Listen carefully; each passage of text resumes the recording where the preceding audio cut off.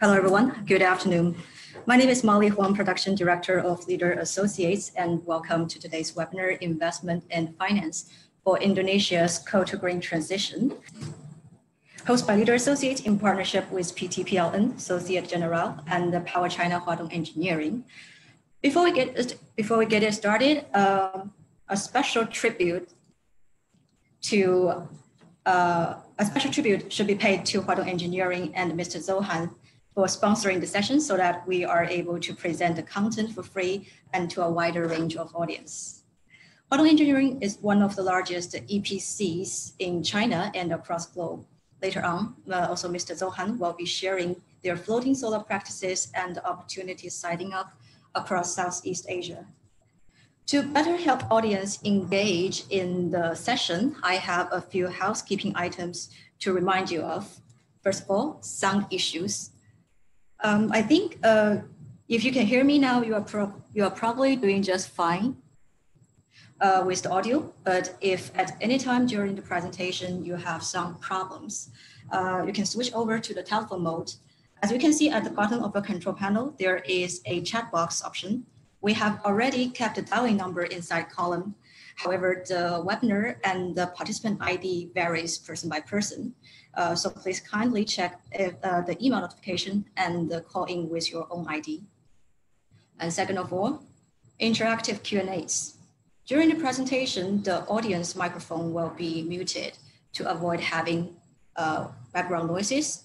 For questions directed to presenters, there is a Q&A box for your usage. Uh, we will go through all the questions at the end of the presentation. Uh, and one more important note is uh, is that please do not add further questions or comments once the Q&A session starts as we hope to create a more comfortable environment for presenters to address the pre-asked questions instead of being interrupted by constantly popping up messages. In the meantime, our team at Leader Associates will also help out in addressing some of your questions. In the case that we do not respond to your questions promptly, uh, it means the questions have been passed over to speakers for independent address later on. So no hurry and no worries. Today's video recording and the slides will be shared with all of you by email this Friday and will be posted uh, on Green Energy Future Indonesia website as well as uh, other social media channels at the same time. Moreover, different from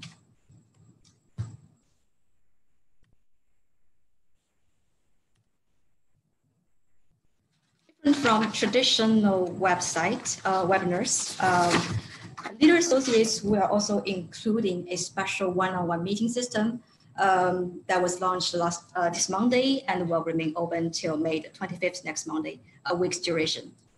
All the webinar participants have been categorized on the systems in terms of name, job title, organization, and business scope. You can easily identify your partners that you are interested in and initiate meetings or chats via a simple click. Last few slides uh, for my presentation. Uh, we are at Leader Associates and what we do. Leader Associates is an international clean energy event organizer and one of the largest in Southeast Asia.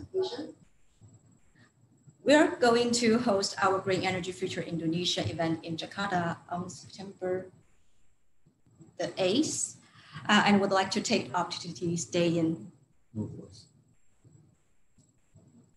Uh, stay in contact, uh, connect with uh, community peers. And everybody, can you hear me clearly? I think we might encounter some uh, audio issues right now.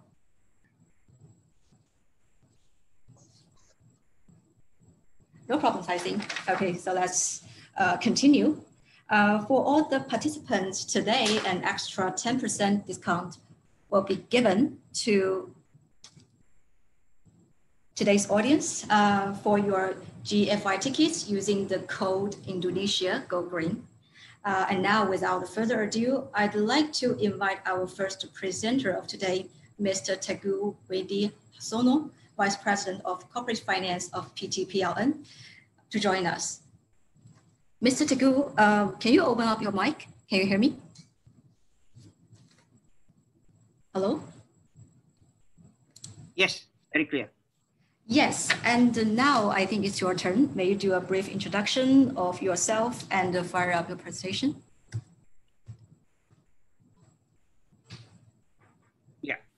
Hi, everyone. Uh, my name is Teguh Widiarsono. Uh, I'm a Vice President uh, at the Corporate Finance Division. I've been working with this company, with the company uh, for about uh, 17 years. And today uh, I would like to present to all of you uh, with regard to the opportunity and challenges uh, with regard to the development of new uh, and renewable energy. Next.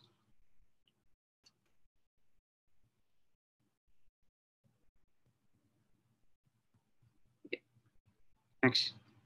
Yeah, uh, I divide uh, this presentation into three parts. Uh, first, with regard to the uh, PLN uh, uh, overview and second with regard to the renewable energy development target. And then uh, the last section will be the challenges and opportunities. Next.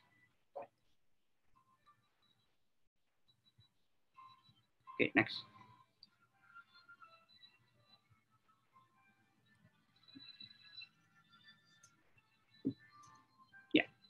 Next. Uh, this is uh, just give you an overview that PLN is 100% uh, controlled by the government uh, we are supervised uh, by MSOE, MEMR uh, in terms of uh, technical uh, regulator, and then MOF supervise us in terms of provide the subsidy, provide as the lending service as well, and also provide equity injection and any other support in terms of government guarantee and then also supervised by uh, uh, BAPPENAS, the National uh, running agency and also uh, Ministry of Environment. Next.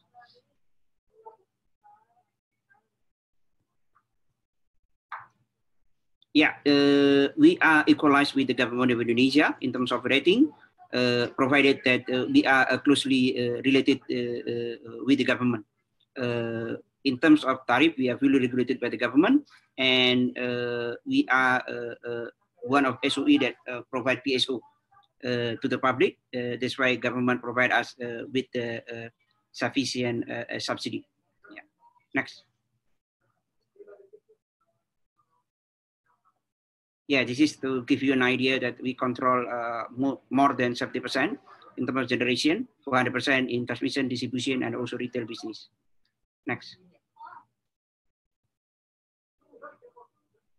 Yeah, this is the extensive generation network there are uh, five big uh, islands in Indonesia.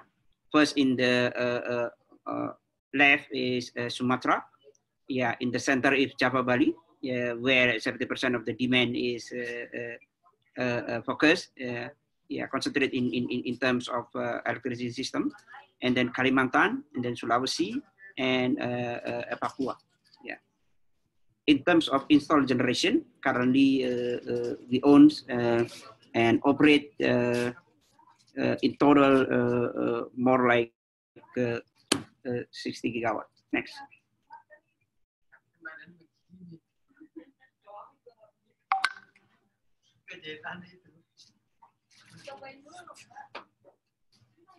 Yeah, uh, this is the national energy policy.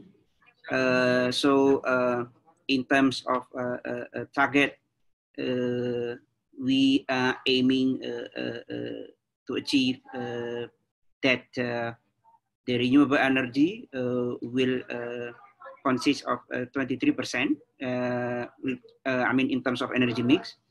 And the remaining is fuel oil. This is the, the national one, yeah, not electricity. Yeah. 25%, and then uh, coal uh, 36%, and the natural gas uh, 22%. Pretty much aligned with the electricity sector. Next.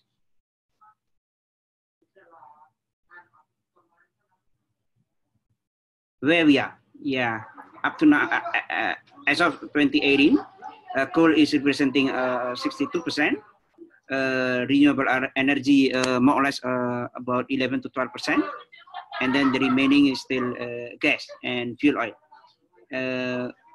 Where in 2025, we are aiming to achieve a coal 54.5%, and then renewable energy 23%, uh, consists of uh, uh, geothermal and then hydro Yeah, and then uh, remaining will be compensated by gas. Yeah, about 22%. Next.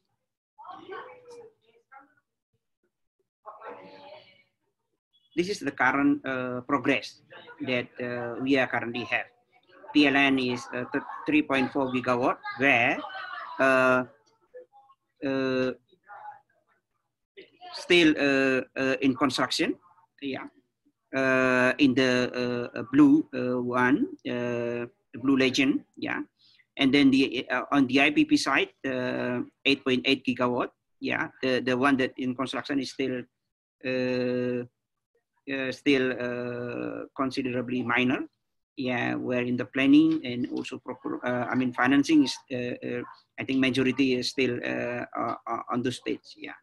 So this is the again the challenges that I would like to present later. Yeah. Next, please. Yeah, uh, what is the, the current condition uh, of uh, I mean, uh, considering the, the, the, the, current situation.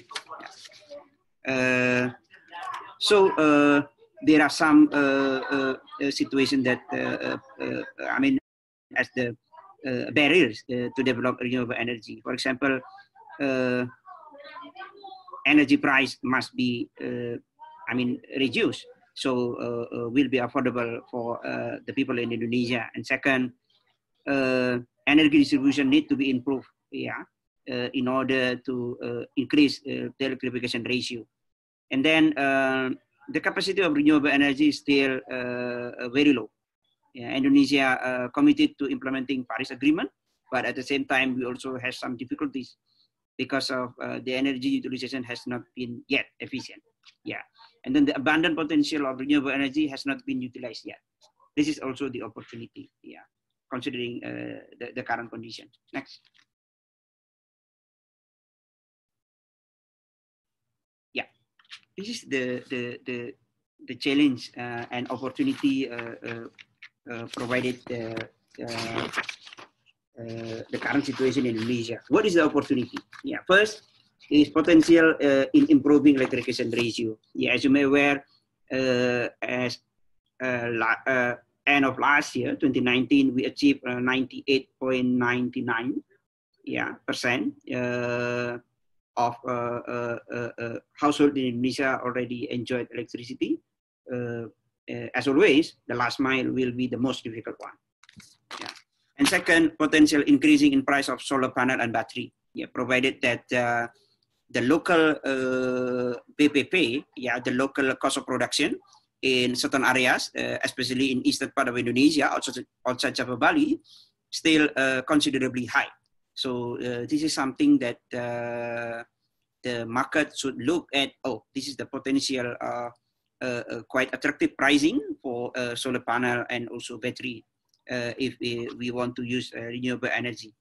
And then small scale solar panel power plant and batteries suitable for remote area yeah, to achieve the, the last mile, uh, as I mentioned, uh, the, the, the, difficult one.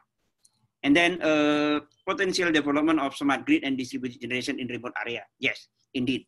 Probably uh, wisely uh, to reach the, the, the outer uh, and also scattered island, it is better to use distributed generation instead of using, I mean, yeah, interconnected system. Yeah. So renewable will be one of the solution. And then feedstock for biomass uh, is still abundant uh, in some areas in Indonesia. And then also we can encourage communities involvement in the operation of biomass and biogas uh, power plant. And then what else? They create uh, create a potential customers, especially the tourism industry with special tariff using renewable energy. This is also uh, one opportunity that uh, PLN is currently looking uh, for example, the development uh, area of, uh, let's say, Mandalika, and then uh, other uh, uh, seven new Bali that currently, I mean, government is aiming to to create the new destination. Yeah, and then also there are the, the, there are some development that currently the industry looking for green certificate, for example. like the, the, the, the Nike and some others manufacturers, they already have the intention to only purchase the electricity with the green certificate. So only source with renewable energy. This is also one, one of the uh, uh, uh opportunity. And then application of diesel engine technology uh, with biofuel. This is uh, quite debatable in, in, yeah, especially for, for European community. And then challenges of renewable energy development. What are uh, one of it is implementation of regulation concerning the, uh, we call it in Indonesia, TKDN. Sorry, uh, next slide. yeah, TKDN or local content.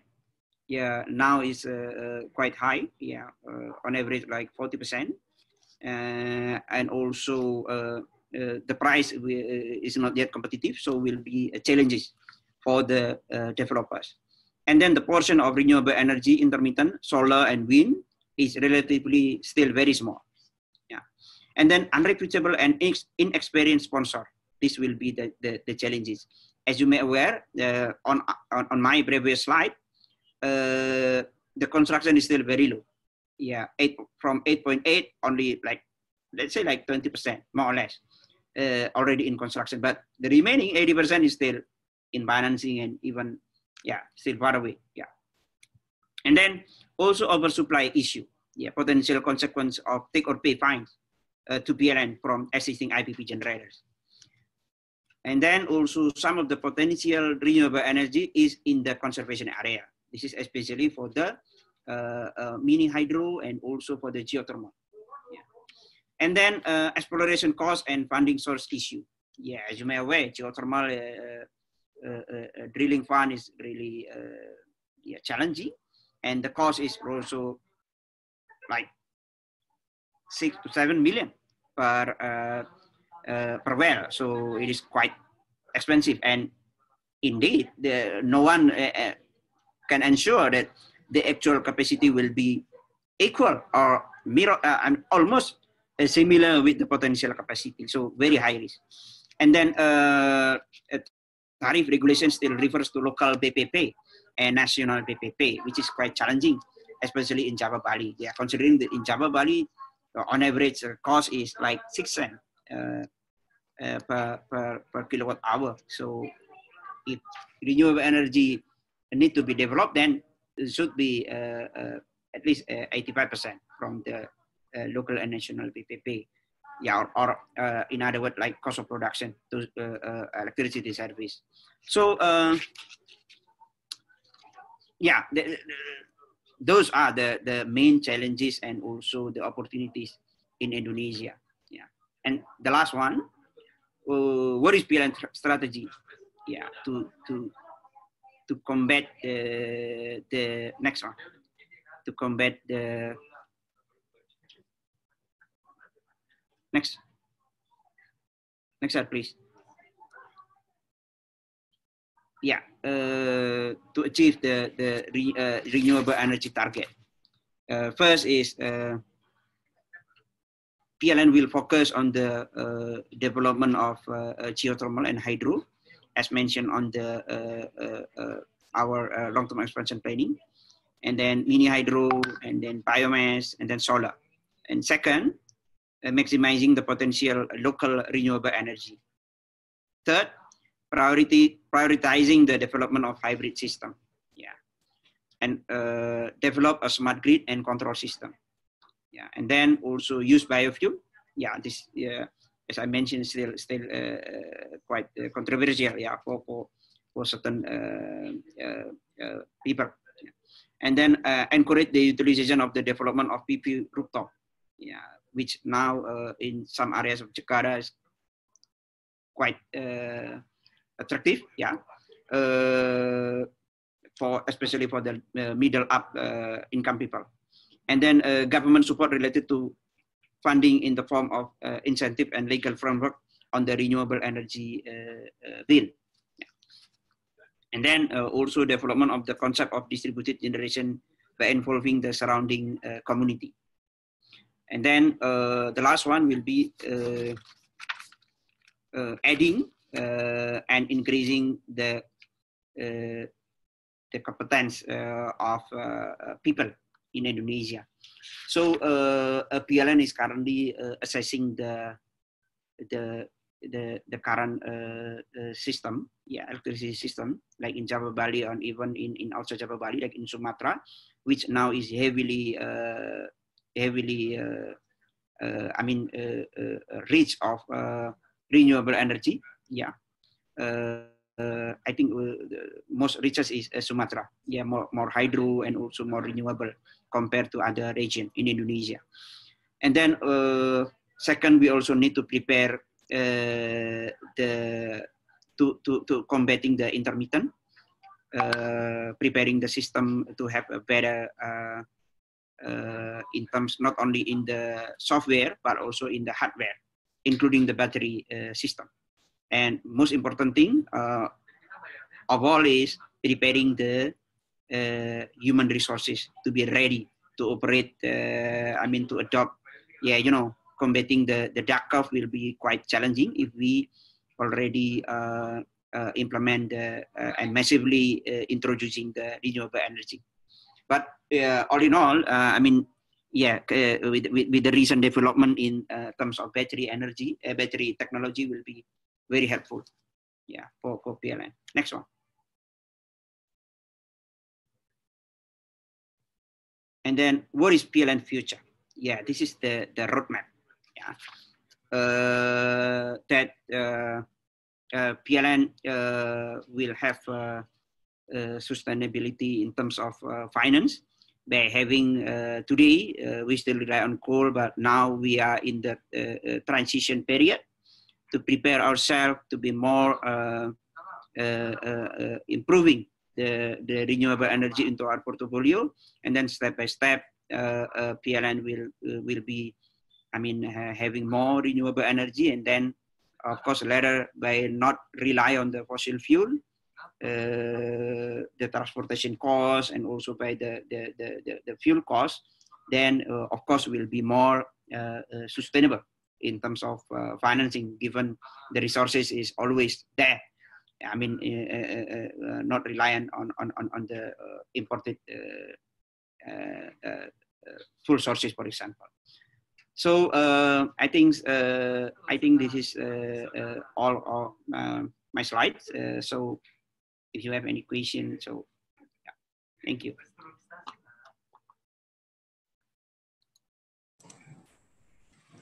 Hi, uh, Mr. Teguh, can you hear me? Yes. Yes, uh, I, I think you have several slides continuing. I'm not sure if you want to address it or we can skip it to no, no, directly. I think, I think we, can, we can skip. Okay, great.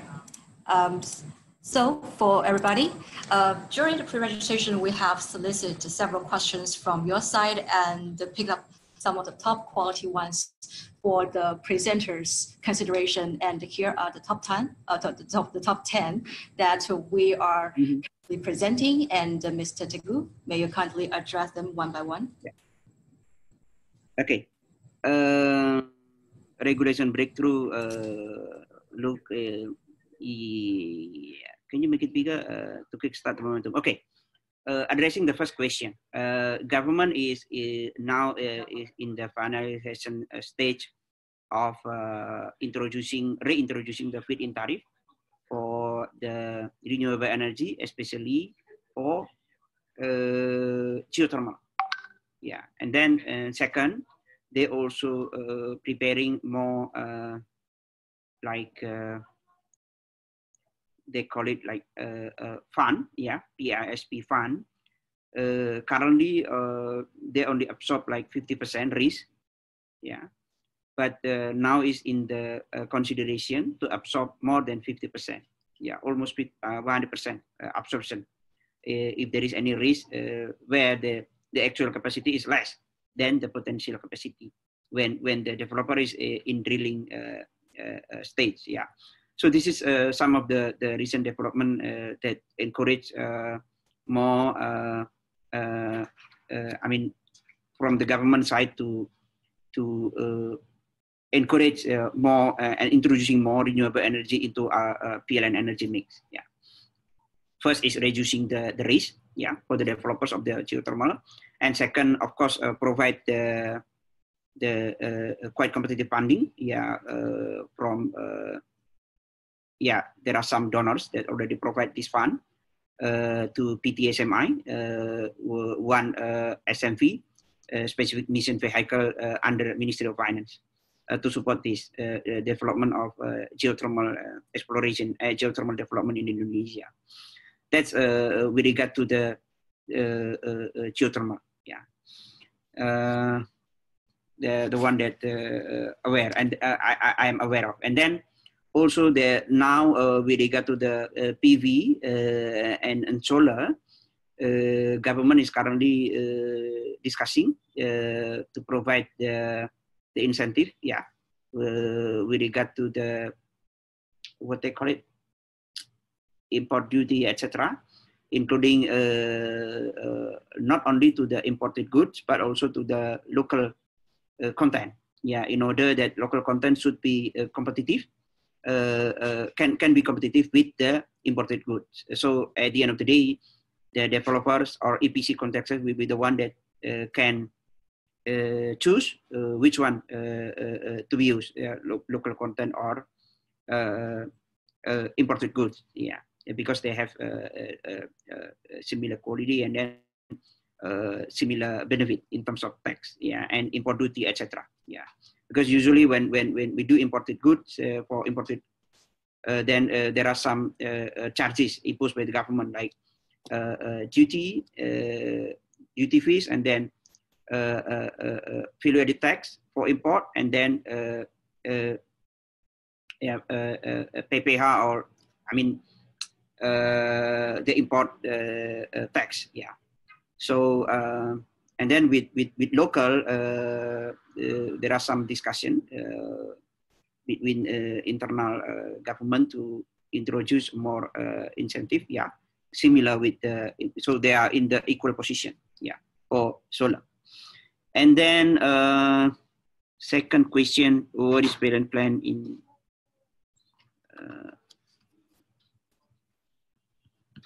wait, wait, wait a second accomplishing 20% renewable energy, will there be any in tariff to certain technologies? Yeah.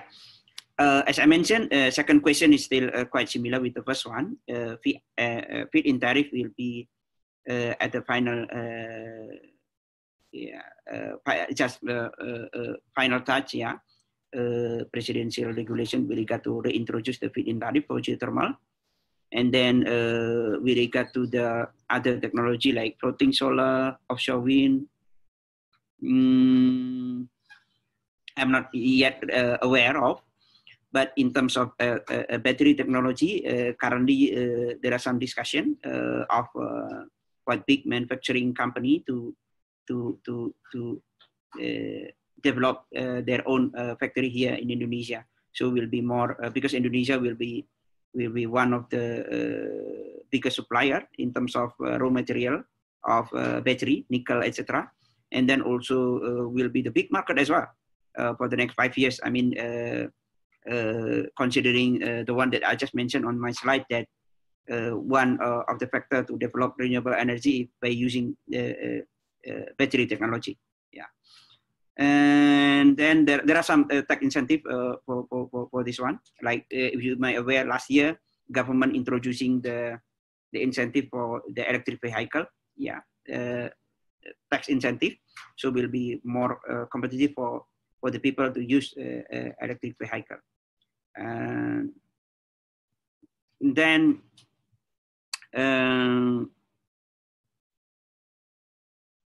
policy of renewable energy to make uh, investors interested in PLN and public still can get best price uh, for energy. Yeah, this is again uh, always uh, uh, uh, two side of coins, like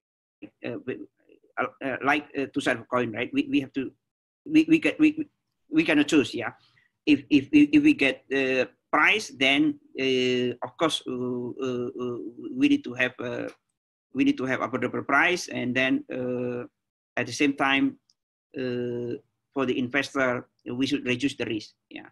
So uh, this is something that uh, uh, currently investors should consider. that when they dealing to invest in Indonesia, I think one of the bigger one of the biggest risks is land acquisition and permit.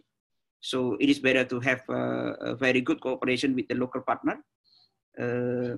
Uh, it's up to you. I mean, uh, like local SOE and also other other uh, other partner that really know well how to deal with the land acquisition and and and, and permit in Indonesia.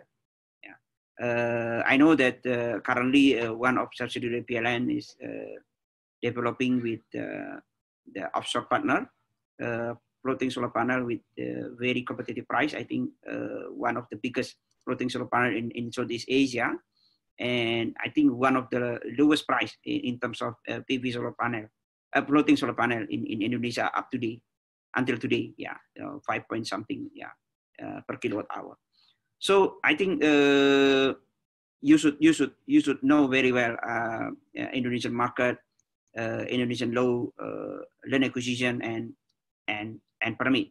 For example, the one that still uh, now is in the final discussion, I mean, uh, uh, final development uh, of uh, floating solar panel, why they can provide very, very good price because of the land acquisition already done, permit uh, almost done, and then mostly can over to, to the local partner, which is capable enough to deal with that, with, with those issues. And then opportunities and constraints for foreign uh, developer to participate in the transition in the 40 60 for investment restriction okay in Indonesia we don't we don't have any such kind of uh, restriction but uh, again uh, understand the local market is the key yeah so you should have uh, the people or the partner that really understand well Indonesia uh, Indonesian law land acquisition, permit, etc., and they can solve everything. And then uh, uh, uh, the, the, the, foreign partners can be focused on the technology, for example, and then bring the, the most competitive financing. So uh, uh, that's, I think, uh, that is the, the key that should be addressed. Yeah, and for if you want to success in in in the development of I mean, the, the, private sector in Indonesia. And then, uh, what is being done by PLN to encourage local bank to provide competitive non-recourse project financing? Yeah. To be honest, uh, Indonesian bank is not yet really active into the project finance. Uh, if you ask me why, uh, because uh, the local bank tend to avoid something that uh, yeah their appetite is not yet uh, uh, i mean to to to enter into the business that quite risky like project finance because they are not uh, covered uh, by the parent company right? Only rely on the assessment of the project and also uh, assessment of the counterpart. I mean i mean the one that purchased the product that provided by the project funds uh, so uh, what uh, currently done by PLN? Okay, PLN have introduced to the to the local bank. I mean, encourage the SOE bank and encourage some of the uh, uh, national private banks to participate in some of uh, IPP project. And then given they understand already the PLN credit, so uh, we have a regular meeting with uh, with the with the local banks. Uh, so uh, on the last five years, we invited uh, mostly all of the private bank to come participate into our financing, local financing. So at the same time, we, we, we introduce more local financing or local currency into our portfolio, but at the same time, they can understand well how PLN operate and, and how important PLN as the single off-taker and how we can deal with the government in terms of uh, if something happened to PLN. Because sometimes there's still uh, a question about uh, can PLN uh, pay and then uh, what if, what if I mean, PLN have financial difficulty and etc. By knowing more, PLN credit then they understand that uh, PLN is uh, also at this very close position yeah, compared to any other SOE uh, in, in, in front of the government of Indonesia. That's the, the, the one. Uh, if you uh, if you see recent recent development, quite a view a local bank already participate into the PF. Yeah. Next.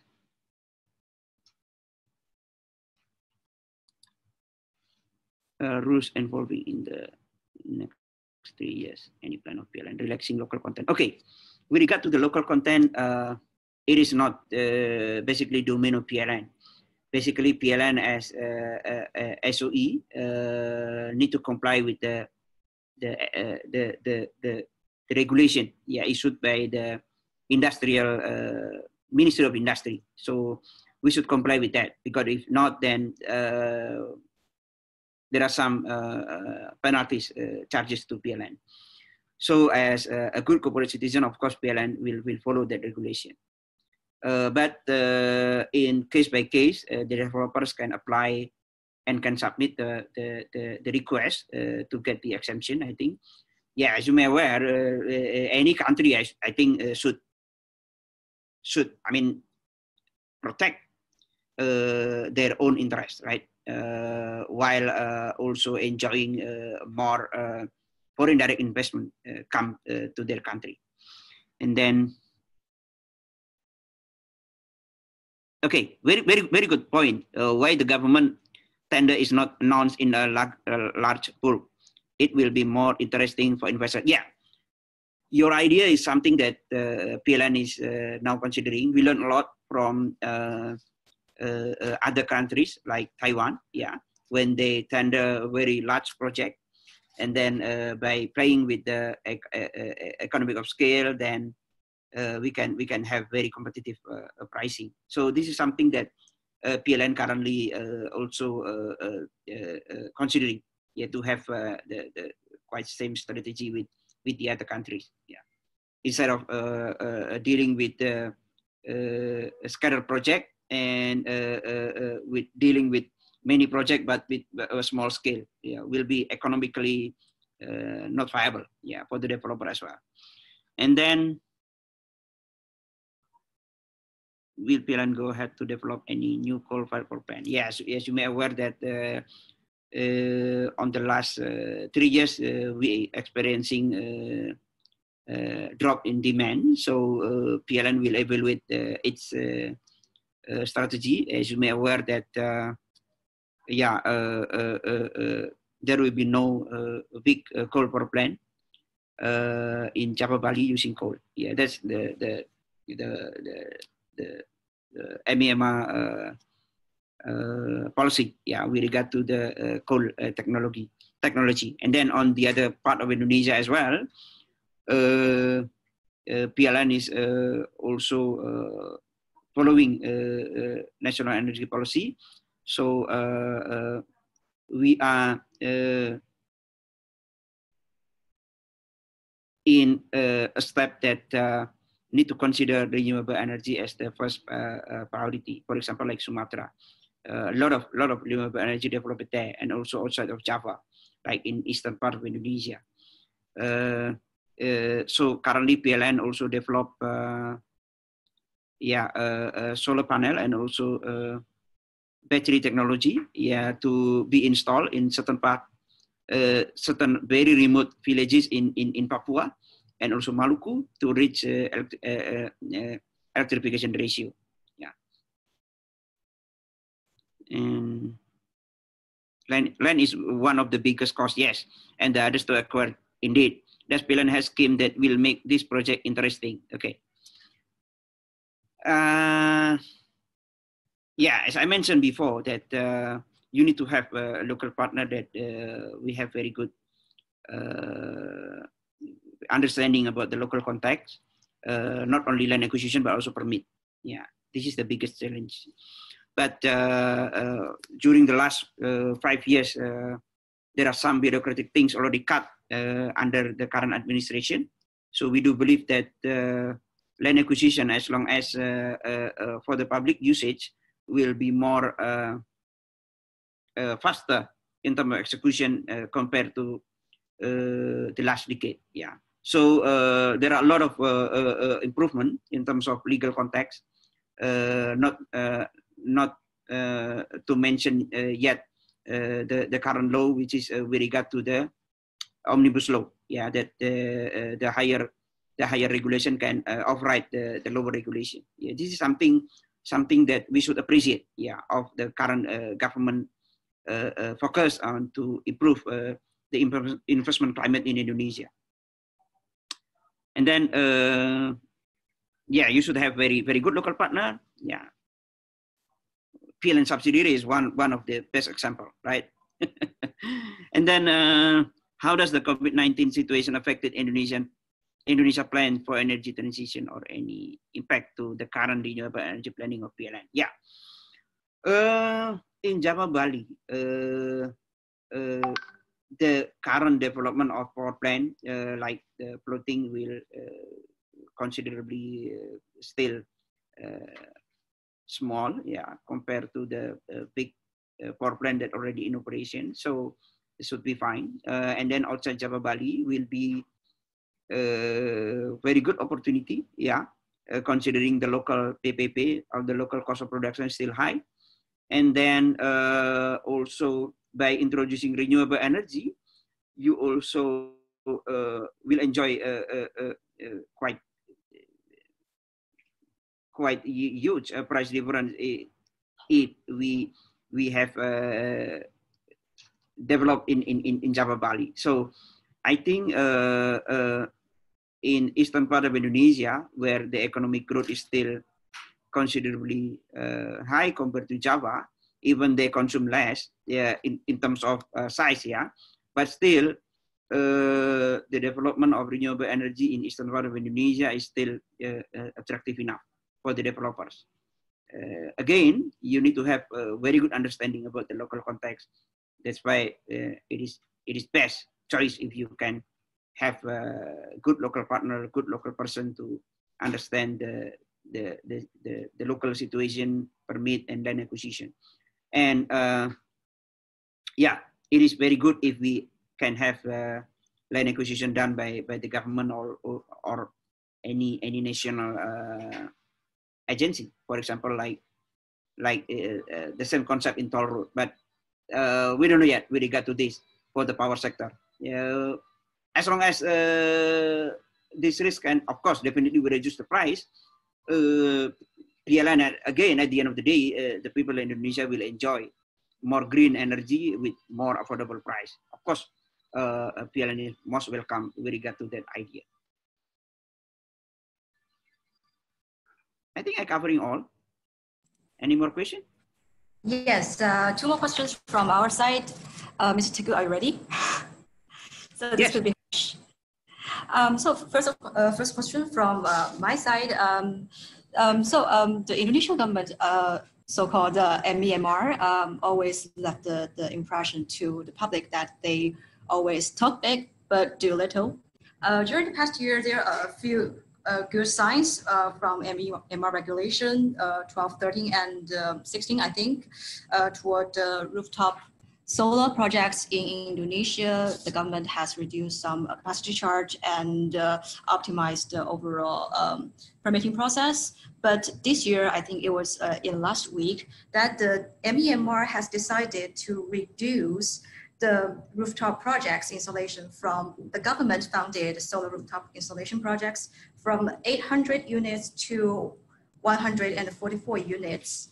And for solar powered street lamp from 40,000 to 26,000 due to the budget cut. Uh, do you think it's a um, uh, emergency response uh, um, as a result of the COVID-19 or it's another uh, you know, um, re re retreat of the government toward the green energy? No, I don't think I don't think that uh, that is a retreat of the government from the renewable energy. Even the MMF uh, and also cross ministerial level like MEMR uh, and and and village ministry also uh, already asked PLN to increase more renewable energy. Yeah, to have the solar panel and then battery technology, etc. like even the equity injection cannot be used anymore for coal power plant. It should be focused on the renewable energy. So government is really concerned about the, the, the renewable energy development in Indonesia. Yeah, yeah. As I mentioned, uh, even equity injection should be focused on the renewable energy. Cannot be used, uh, no longer be used for, for, for any other project like yeah, heavily coal, for example. Yeah.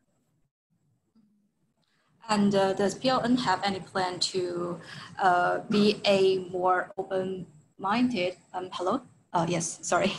Uh, does PLN have any plan toward an open market?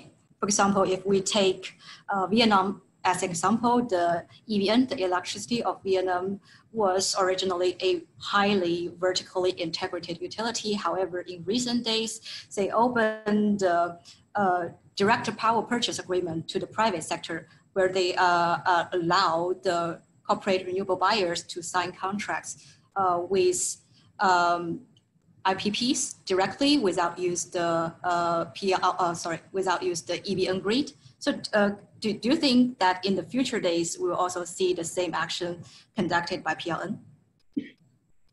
Uh, very good question. But uh, uh, in our view, you should, if, if you if you uh, if, if we consider the our constitution, 1945, uh, uh, it is very clear mentioned Article 33 with regard to that very strategic industry need to be owned and controlled by the government. And privatization is a very sensitive issue in Indonesia. And we don't think that will be workable in the short and medium term.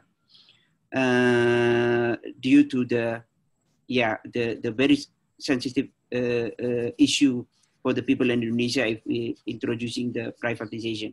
For example, uh, there were law number 20 2002 it was cancelled last time due to this issue and second law number 30 2009 some article also cancelled by the constitutional court uh, due to this issue as well so uh, it should be owned and controlled by the government and and and, and pln is the representation of the government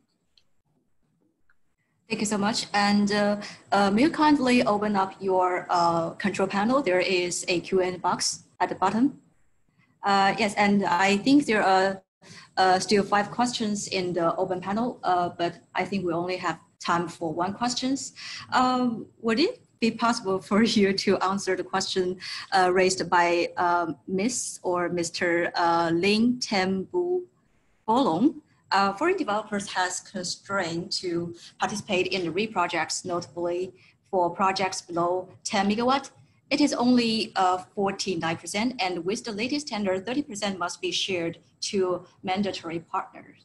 Um, also, uh, we learned from our last webinar that the presidential regulation from uh, president, of course, uh, will provide a special incentive program for projects under 10 megawatt. So in that context, which business model would you recommend for the international stakeholders to join in for smaller projects or remain to pursue for large projects? Yeah, uh, very good question and very challenging question as well. Yeah, so uh, the idea of uh, uh development of uh, a bigger, uh, sorry, less than 10 megawatt, the tender should be done by our unit, business unit, and usually dealing with the local developers. So, and mainly mini hydro, mainly mini hydro. And they enjoy a, a very competitive uh, IRR. Uh, I mean, very good IRR. Uh, and then, uh, so in terms of return, no question about that. And then uh, this will be a very, very good opportunity for uh, the uh, offshore uh, investors. Yeah, but the design of I mean less than 10 megawatt, of course, focus on the local local developers. Uh, dealing with bigger than 10 megawatt, the tender will be done by uh, head office and uh, using the direct selection, right? not direct appointment, yeah, direct selection and in, it usually takes uh, time uh, because uh, they need to do a feasibility study and etc., where the bankability issue of the project is a, a question. So again, uh, uh, uh, for PLN itself, uh, as long as the the foreign uh, uh, investor is have, I mean, competitive in terms of financing, and then competitive in terms of technology. So Uh, you need to address one more uh, one more uh, factors that you should focus on, which is the feasibility study of the location, if, bigger than 10 megawatt. Uh, and then uh, less than 10 megawatt, uh, usually because big, low risk, then again, the question is back to you. if you are okay to do a 10 project with, with, with 10 megawatt instead of uh, 100 megawatt by, by, by one project, then again, uh, uh, it is a, a game of uh, uh, diversification project, right? Diversification uh, or, or portfolio project. So, yeah, if you ask me as, as, as a personal, we don't, we don't, we, we don't, we don't have any any any definite answer. But back to to the investor, uh, uh, I mean, yeah, considering their investor, uh, I mean, investment appetite and also risk appetite as well. How how the level they understand about the Indonesian context and and and with the with the proposed location with the proposed project. Back back again to that to that question.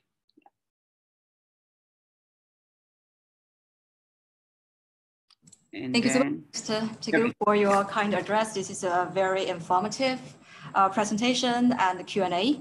And because we have two more panelists lining up, so uh, if you don't mind, may I uh, switch the presenter to our next one, uh, Mr. Daniel Malo from Societe Generale. Yes, thank you. Thank you, Molly, uh, for the opportunity today to, to discuss um, the transition from coal to green uh, in Indonesia. And um, i will be talking about it from the perspective of a provider of capital, uh, being a, an energy banker. And, and, we are involved in a number of energy projects in Indonesia across asset classes, really uh, gas, uh, geothermal, hydro, and solar. Uh, so I'm, I'm, proposing to do a few things, and, and, I'm looking at the questions that have been addressed ahead of time. Some of the questions were about risks. What are the risks and the concerns by investors? So I will try to address that. Um, um, how transactions or financing uh, differ between uh, thermal generation, coal versus green. Um, how Indonesia has access to sources of financing um, as well as the impact of, of COVID-19 on, on getting uh, projects uh, done in the current environment. And then finally, if we have time, I will uh, maybe show a, a, a, few case studies uh, to put all this into more concrete perspective uh, of, recent transactions that have been done in Indonesia in the sector and, and what makes them a little bit unique. And, and, and finally, uh, maybe touch on a couple trends that we see elsewhere in Asia uh, in the renewable energy space um, and, and, and discuss whether they, they may become relevant uh, to Indonesia, uh, if that's okay. Um, how much time do we have, Molly? Uh,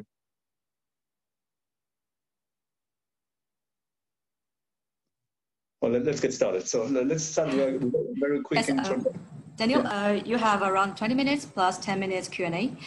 Perfect, perfect, thank you. So let's start with a very quick introduction on who we are on slide two. Um, so we are a, a European bank. Uh, we've been in Asia for a long time, uh, over 150 years. Uh, this is a little bit the footprint of what we do uh, in Asia. So as you can see, we're active in most markets, uh, from India to Australia to Japan. Um, uh, and, and we have done renewable energy projects in, in, in all of those jurisdictions. But today we will discuss more specifically Indonesia, uh, where we've been very active and we've uh, actually been named Indonesia Project Finance Bank of the Year in 2015 and in 2017, reflecting that level of activity. On the next page, uh, you will see uh, what our institution um, commitment uh, to renewables and the climate change uh, topic are. Can we switch to the next slide, please? Um, so you, you will see here what how we position ourselves as an institution uh, with respect to climate. Um, and I, I, would point out maybe three or four items. Uh, the, the, the, first, first item is uh, we're very much supporting the energy transition as an institution. Uh, our, our, goal is to uh, gradually reduce uh, our portfolio of fossil fuels, um, increase substantially renewables, we have announced now several years ago that we will no longer finance uh, the coal industry, um, coal-fired power stations, coal mining, and transportation related to coal. Uh, secondly, uh, the bank has committed um, to raise at least 120 billion euros uh, by 2023 uh, for the uh, energy transition. so this will be a combination of helping clients raise green capital and on investing directly in renewable energy projects. Um, and the third point I would make here, I would make here is that um, we consider natural gas uh, to be part of the energy transition. Uh, we think gas is a transition fuel. Uh, the footprint um, uh, the, the, the, CO2 footprint of gas is substantially lower than, than coal. Um, it is a base load source of energy, and we think it will be part, it, it, it, has to play a part in the energy transition. So that, that's how we look at the sector from a policy standpoint. We also try to be innovative uh, and be at the forefront of te technology. So things like uh, floating wind, for example, floating solar that uh, uh, Mr. Zuhan will talk about on, on, the next presentation also. Battery storage are all areas that we have experience in. And then the next slide is really to, um, uh, to, to, to show you a little bit more concretely what we have been doing in Indonesia more specifically. And it is a little bit small, I'm sorry for that. But, but to point out a, a, few transactions that are relevant to the discussion today is on, on, the, on the bottom right side, the, the three transactions that are boxed, that are in a box. You will see there uh, two hydro uh, power stations uh, that we financed. One is called Hasang in Sumatra, it's 39 megawatts. The other one is called Asahan 1, also in Sumatra. That's 180 megawatt power station, hydropower station. We have also done a few years ago a, a large geothermal project called Sarulla, uh, 320 megawatt. It is probably one of the, it was the largest at the time. We've done the transaction. It probably still is or close to.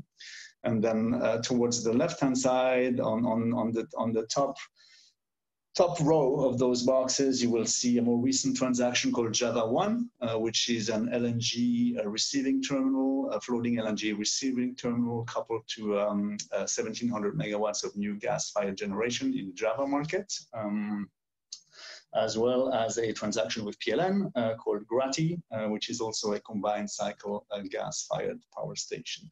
So as you can see, we have experience across asset classes uh, in Indonesia. We are currently in the process of finalizing two transactions. One is uh, in the solar space and, and was, one is in the hydro space. So that's just a quick introduction on who we are. Uh, on, on, the next slide, I wanted to uh, really discuss very briefly, and I'm not going to dwell on this because Pak Teguh already talked about the energy mix in, in, in Indonesia, but, um, but maybe two things I would like to point out um, about the landscape in Indonesia. The first one is, um, you know, it is a country that um, uh, offers opportunities and, and has very strong underlying fundamentals. If we take away COVID-19 for a moment, um, uh, you know, Indonesia was growing quite fast. Uh, GDP growth rates, uh, four and a half, five, five and a half percent. Uh, demand for power uh, higher, uh, outstripping GDP growth rates. Um, thirdly, still a certain level of untapped power demand. Uh, there's still areas in Indonesia where like, access to electricity is not available, so that's demand that's not served today.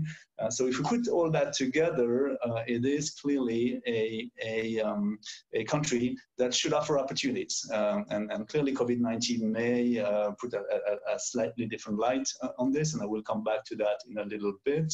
But still, uh, we see the fundamentals as being quite positive for renewable energy investment in Indonesia.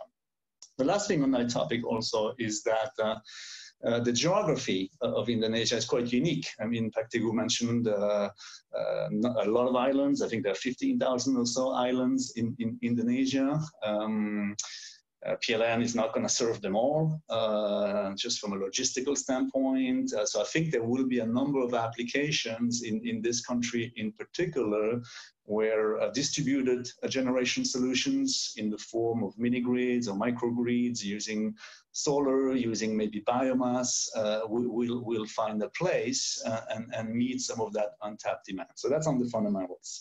Um, I will skip the middle section that Pak Teguh discussed already, which is the the the, uh, the supply mix currently, uh, and and then uh, the only comment I would make still on this page is that you know not all renewables are created equal. Um, uh, Indonesia is blessed with tremendous hydro and geothermal potential um, among the best in the world. Um, those are renewable energy sources. Um, you know, when, when we, and, and they have their merits, in particular, geothermal is a baseload, uh, a baseload renewable energy source. Uh, so that is extremely valuable uh, to have uh, a, a, an energy that is fully renewable and that can provide capacity factors as high as 95 or 96 or 97%. It's very unique. Uh, it does require an upfront investment cost, um, but it is a very valuable uh, source of energy. Hydro has also a, tremendous potential in, in Indonesia. Um, so I think uh, at the end of the day, it, it is all about a diversified energy mix uh, and, and, and, and being able to combine uh, the right sources uh, of, of energy to, to accompany Indonesia and its energy transition. Moving to the next slide, I'm going to touch a little bit on what um, what are the investment considerations and, and the risk factors. And, and as an investor, um, for those kind of projects, we are looking essentially at three major things. Um, one is the regulatory framework. Um, and, you know, it can take a variety of, of iterations. It can be feed-in tariffs, it can be PPAs, it can be auctions, it can be renewable portfolio standards. At the end of the day, the, the, the exact nature of the regulatory framework is, is, is, um, is up for interpretation. And, and I'm not saying the, the, the investors will have a very strong preference for one versus the other, but what they will be seeking is a stable, uh, permanent uh, regulatory environment, um, a clear energy policy, a clearly articulated energy policy by the government um, to, to provide uh, uh, that comfort uh, to investors uh, that the, the, the country, the regulator, the um, the energy uh, authorities are, are committed uh, to this energy transition and want it to happen. I think Pak Teguh mentioned Taiwan in, in his talk. I think Taiwan is a good example of, of how that can translate into success and into the ability to attract investors from all over the world to invest in renewables. Uh, Taiwan recently embarked, uh, as recently as two years ago, embarked on a major um, shift towards renewable energy um, there was a clear signal from the governmental authorities that they wanted that to happen. They wanted to phase out nuclear, they wanted to phase out coal, and they wanted to promote renewables. And as a result of that framework, um, they have been able to attract investors from all over the world uh, to develop both offshore wind and, and, solar projects. So, so it's an example uh, to, to illustrate how that matters to investors related to the regulatory framework, I think what investors are looking for is revenue certainty uh, and, and quality, uh, quality uh, revenue agreements, quality PPAs. And on that front, Indonesia has a history uh, of, of, providing uh, some of those uh, PPAs with PLN. So that's the first, first segment, is, is the quality of the regulatory framework. The second uh, key consideration is really um, strong risk allocation and, and, and de-risking the projects, which means uh, a solid construction risk mitigation package, um, which means uh, partnerships potentially uh, to optimize risk mitigation. There's a number of, of projects that are done in partnership in, in partnerships uh, with government, with, um, I'm sorry, with Indonesian companies like PJB at times or Pertamina. Um, that is helpful. Uh, that is helpful from an investor standpoint to have the opportunity to partner up with a major Indonesian energy company and develop a project jointly. Um, uh, and then the third element, the third key element is, is uh, uh, for, for a successful investment really is an efficient financing. Um, you need capital. Um, you need uh, to, to, to be able to optimize your, your capital, uh, your capital structure, your cost of capital, especially if it's in a bid situation where you're competing against others. Uh, so, so clearly having an efficient financing is helpful uh, to, to be in a strong position. You need a stable capital structure. Those projects are long-term projects. They have economic lives of 20, 25, sometimes more years. Um, so you need a, a, a stable capital structure to reflect the long-term nature of those assets. And I will come a little bit in uh, about the current disruptions uh, in, in the financing markets. We've, we've really shaken um, uh, the financing markets for the past uh, two or three months now. I'm hoping they're starting to abate. We see a little bit of, of early signals of them starting to abate, but nevertheless, um, uh, they are a consideration at the moment. Um, so the next slide is really quickly illustrating why do sponsors um, uh, use project finance for those kind of assets, and, and those are kind of the key considerations. Um, uh, the fact that it's legally non-recourse, um, uh, it reduces the corporate financing burden. You finance at the project level rather than on the balance sheet of the developer. You can achieve things like higher leverage or longer tenor. Um, uh, and, and, and oftentimes when you're in a situation with partners, uh, you know, some of the partners may have different priorities, different objectives, different credit profile. So it allows for a unified approach uh, to the project. Um, moving to the next page is just an illustration uh, on, those uh, of those risk allocation of that risk allocation. If you can move to the next page, please. It's just an illustration. Thank you. Um, on, on how this all comes together, I was talking about the quality of the contractual framework on the on the on, on the um, on the construction side, on the offtake side via the PPA, uh, on the operational side via the O&M operations and maintenance agreement, uh, on the supply side if it is a, a gas-fired power plant, um, and, and, and really trying to achieve an alignment of interests across the value chain uh, to, to, to, uh, to, to preserve um, the integrity of the project. Uh, in the interest of time, let's move to page nine, the next page, and, and talk a little bit more about um, the key risks. Uh, there was a couple questions that came from the audience and what are the key concerns, the key risks uh, for investors. I've tried to summarize them here. Um, so there's five or six of them. Construction risk, clearly, uh, that is the uh, point in time in the life of a project where the risk factors are highest. Um, so the ability to build, to build on time, uh, not to incur cost overruns, um, all those things need to be mitigated. There's a variety of ways to do that uh, through strong construction contracts, through contingencies in the budget, um, through liquidated damages by, by contractors, sometimes through completion guarantees. But there's a variety of ways to, to, to, to mitigate that risk, but that is clearly a key risk. It varies across the, across the range of projects. Some projects are more complex than others, uh, but it is a risk in, in every project. Um, operating risk.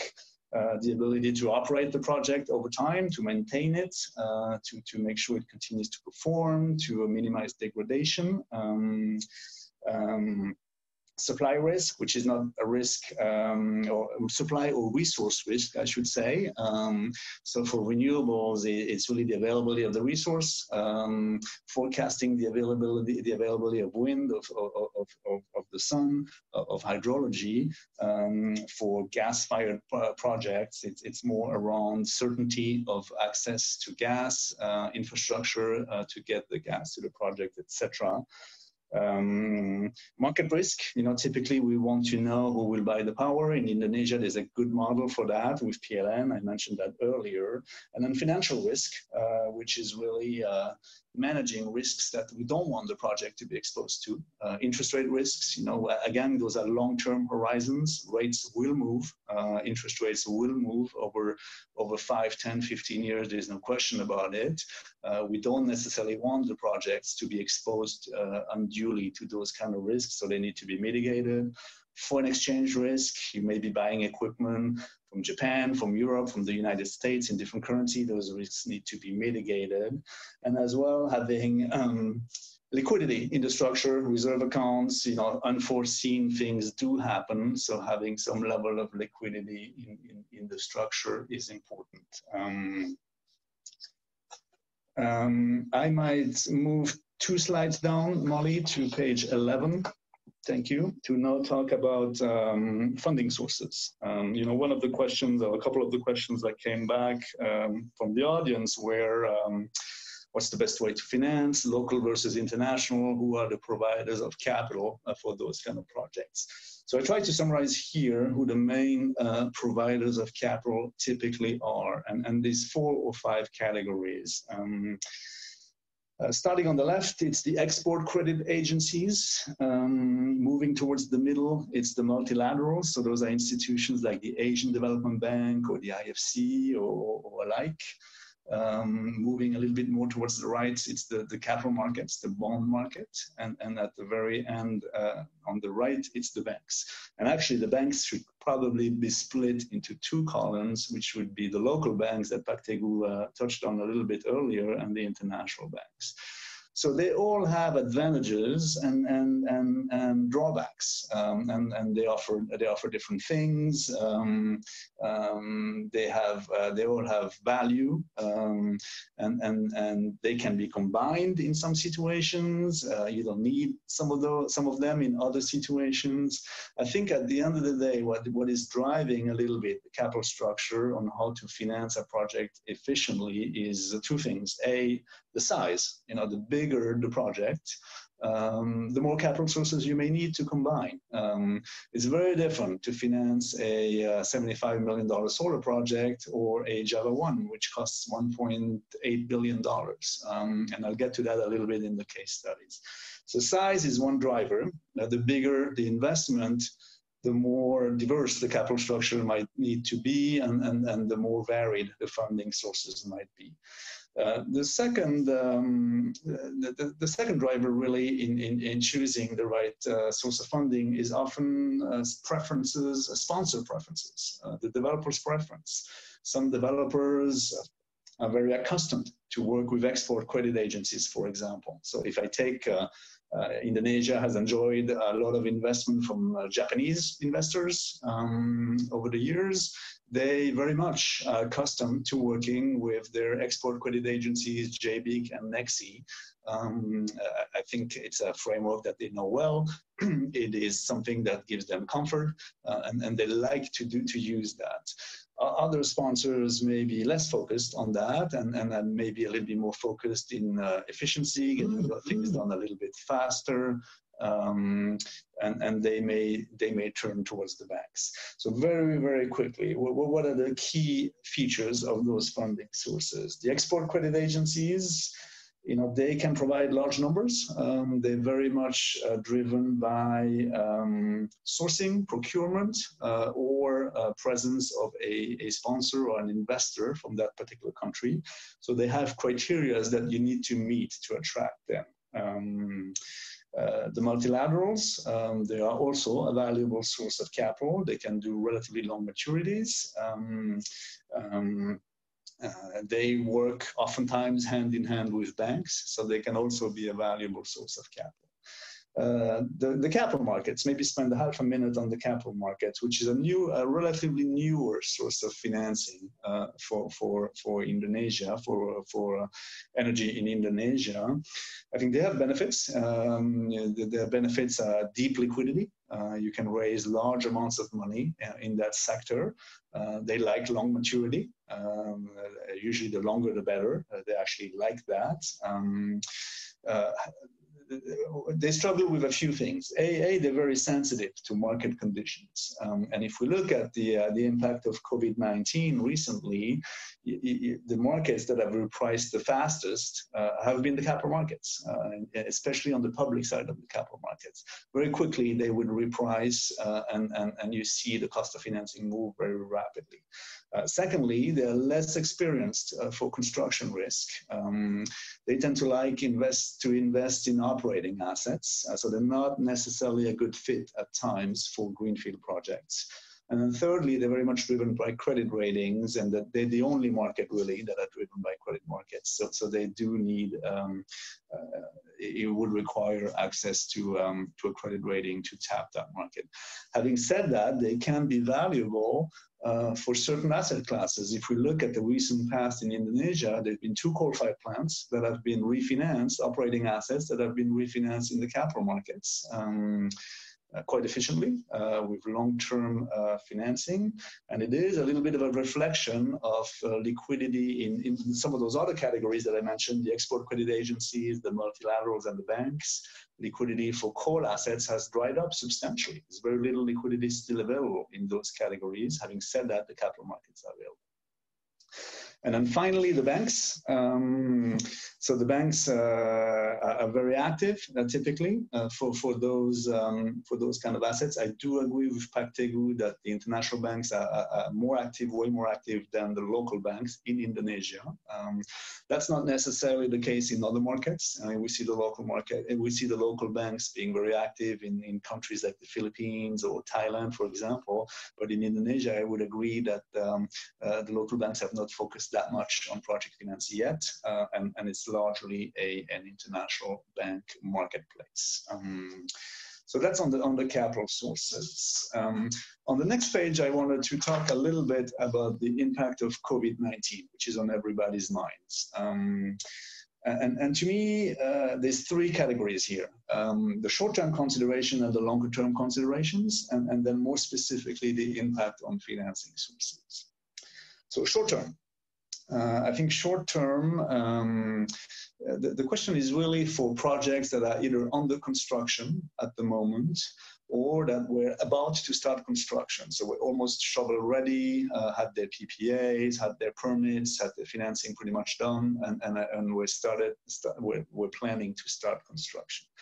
I think there what we'll see is um, a few things. Um, uh, potential disruptions on the equipment supply side. Uh, and, and, we've seen that in our portfolio here in Asia. We've had other projects in other parts of Asia that were under constructions and have faced some delays in getting uh, solar panels, in getting inverters, in getting transformers or other electrical equipment. So that, that, that is a consideration. I, I, think it's likely to, to normalize a little bit as, as a lot of that equipment is sourced from China and, and China is, is normalizing to a large extent, but still it, it is a risk factor that has been exacerbated.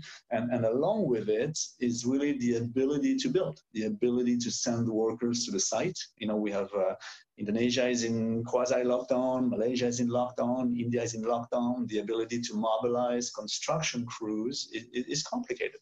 Uh, and, and that is likely to, to lead to delays uh, in, in achieving commercial operation dates which again could cause problems vis-a-vis uh, PPAs that may have sunset dates, uh, dates by which you have to be in service, otherwise you risk losing your PPA, so those kind of things happen. So what will we need in the short term? I think uh, in the short term we will have probably the sources of capital will be a lot more focused on those risks they will be looking for more contingencies, more liquidity available for those unforeseen events. And secondly, there will be a desire for flexibility. Uh, flexibility with the off-takers, flexibility with the uh, provider of permits. You know, uh, some things will be outside of the control of the developer if, if major disruptions occur, and, and having commercial counterparties that show a, a, a good level of flexibility will be appreciated. So that is the short-term impact in my view. Longer term, uh, I'm a little bit more worried about the longer-term impact for two reasons. One is um, is um, how will demand for power recover? Um, and and and uh, and we have seen in, in a number of those countries demand coming down substantially 20 25 percent i mean Pak you probably have a good sense for indonesia but i've seen some numbers for other countries where as a result of the lockdowns as a result of the, the, the massive drop in economic activity demand for power has has um, has fallen dramatically here in Asia, but also in the United States, in Europe, uh, globally. Now, the question is how quickly will it come back? Um, and, and, and, and I'm hopeful that in Asia it will actually come back more rapidly uh, than it will in other parts of the world. And to some extent, we are starting to see some of those signals in places like China, uh, South Korea, um, that have um, that have exited lockdowns several weeks ago already. Uh, and I'm hoping that this this will be a pattern, um, a pattern uh, that will, uh, remain true in other parts of Asia. Having said that, you know, PLN might be reconsider reconsidering its investment strategy. Uh, PLN might be looking at different uh, forecasts now or different assumptions for future demand for power as a result of the strategy, uh, as a result of the um, of, of the pandemic. Sorry. And then the second thing that um, that COVID-19 could, uh, as a result of that, um, uh, lead to is uh, delays. Delays in tenders for new projects, delays in awarding new projects. So this could set the industry back a little bit, um, and, and, a number of those processes that um, in, investors, developers were hoping to see happen uh, over the second half of this year uh, for projects next year and the year after may may slip a little bit. Um, so PLN will be much closer than I am, but this is a little bit what I'm, uh, what I'm worried about in terms of longer term considerations. And thirdly, what's the impact of, on, on capital sources, on financing sources? Uh, clearly, the markets have been highly disrupted. And, and as I was saying earlier, uh, that's been particularly the case in the more liquid public markets, less so in, in the project finance markets. Those markets are, are usually much slower uh, to adjust, but they've been disrupted nevertheless. What are we seeing though? We're seeing a few things. The first thing that we're seeing is the availability, of capital remains quite high uh, for renewable energy projects. Um, so that is good news uh, for the energy transition. Uh, it's good news for renewables. Um, I think that is probably the one pocket in, in, in the investment spectrum where availability of capital remains highest. Uh, it's more difficult for commodity-based projects. It's more difficult for oil and gas. Um, it's more difficult, clearly, for unloved asset classes like coal. Uh, but for uh, for renewables, even in this disrupted market, uh, capital has remained largely available, and we are seeing that. I was referring earlier to two projects that we're in the process of financing now, um, and and the banks are continuing to move forward. Um, we're doing things in India, we're doing things in Taiwan in renewables at the moment, and we see the market continue to move forward. So that is good news. The cost of financing has gone up, yes. Um, in, in the, at the moment, it has gone up. It is more expensive today to raise debt financing than it was three months ago for a renewable energy projects. No, no question about it. Is that dramatic, though? I would say probably not. Um, I think there's a lot more value in getting a project financed and, and constructed now, even though you may have to pay up a bit more for your financing.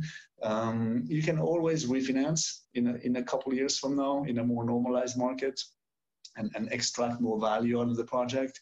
But I think there is still value in, in, in developing, in, in being, a, being able to produce in, in short order rather than being delayed one, two, or three years. Um, and then, as I said, the financing structures go, going forward are likely to include a renewed focus on things like contingencies, cost overruns, delay risk, etc., and the quality of the underlying sponsor to, to go through this more difficult environment. I think I'm, I'm running out of time. So very, very quickly, uh, Molly, if I can move to page 15, please. Two more. One more.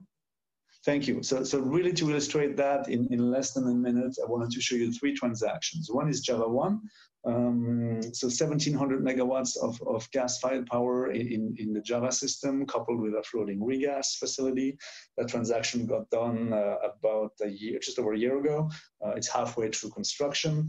Um, it's a good example of the partnerships that I mentioned. Uh, so this is a, a, partnership between Pertamina, um, Marubeni, and Sojitz. Um, so very strong sponsors, uh, very experienced in the sector, and this good partnership between an international sponsors on the one hand and local sponsors. Um, the, the financing is a combination of several sources. So we have the Asian Development Bank here. We have JBIC. This is a typo actually, uh, which is the Japanese Export Credit Agency, as, as, as well as a group of banks, including ourselves. So that is a good example of a larger transaction, including multiple capital sources. On the next page, um, uh, we have uh, Sarulla, um, geothermal project in Sumatra, 320 megawatts. Uh, also a large project, 1.6 billion in, in capital costs. Um, also a diverse, uh, very diverse funding structure. You have the Asian Development Bank again, you have um, JBIC, uh, the Japanese ECA, as well as banks and a group of banks, including ourselves. Again, here the sponsors are Itochu and Kyushu Electric from Japan. So it comes back to that angle that I mentioned earlier, which is uh, sponsor preference. Uh, Japanese sponsors tend to like to work with their Japanese ECAs, and we've seen that both in JAVA1 and here in Sarulla. And then finally, uh, the next page is a hydropower project um, called Asahan 1. Uh, thank you. That's 180 megawatts in Sumatra. Uh, this is uh, no ECAs here, no export credit agencies, but it's a combination of the, uh, the IFC, the International Finance Corporation, as well as a group of banks, including ourselves. So those are three examples to, to put this in perspective a, a little bit. And then my very final word will be on page 19 and 20, uh, and, and, and possibly actually as a, as a lead in to uh, Zuhan's presentation. What do we see happen elsewhere in Asia? And I wanted to point out two things uh, that are interesting. The first one is on page 19. Uh, it, it is that second tombstone in the first column, so it's hard to see, but it is a floating solar project uh, in Taiwan um, uh, with Marubeni from Japan as a lead investor. It's 180 megawatts um, floating solar. Um, I think that is exciting because it's an asset class that is likely to grow very rapidly in the region.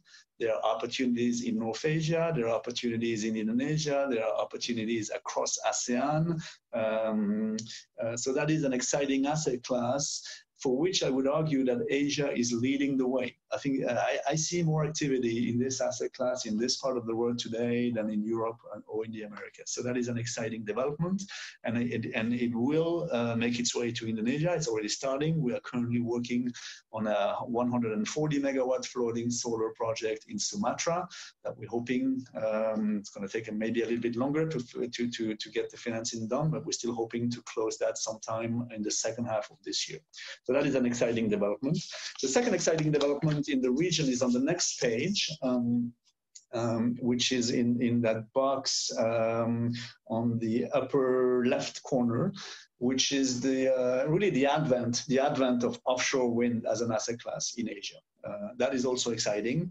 Um, two years ago, uh, there was probably nothing in offshore wind in Asia. If I take away China, which is a more unique market, uh, but two, two, two years ago, there were zero megawatts in Asia of offshore wind outside of, of China. Today, there is over 1,500 megawatts in Taiwan that are under construction or, or, or, um, or, or starting to operate. Uh, the first project in Japan just reached financial close. It's that second one again with Marubeni. It's a 140 megawatt project in Akita Prefecture. Um, we see opportunities, more opportunities in Japan, in South Korea, maybe in India, in Vietnam, maybe in Australia, and, and who knows, maybe one day in Indonesia. So that is also exciting to see a, a new asset class develop very quickly uh, across the region. So with that, Molly, I'll, I'll stop here. I think I run a little bit over. Sorry for that.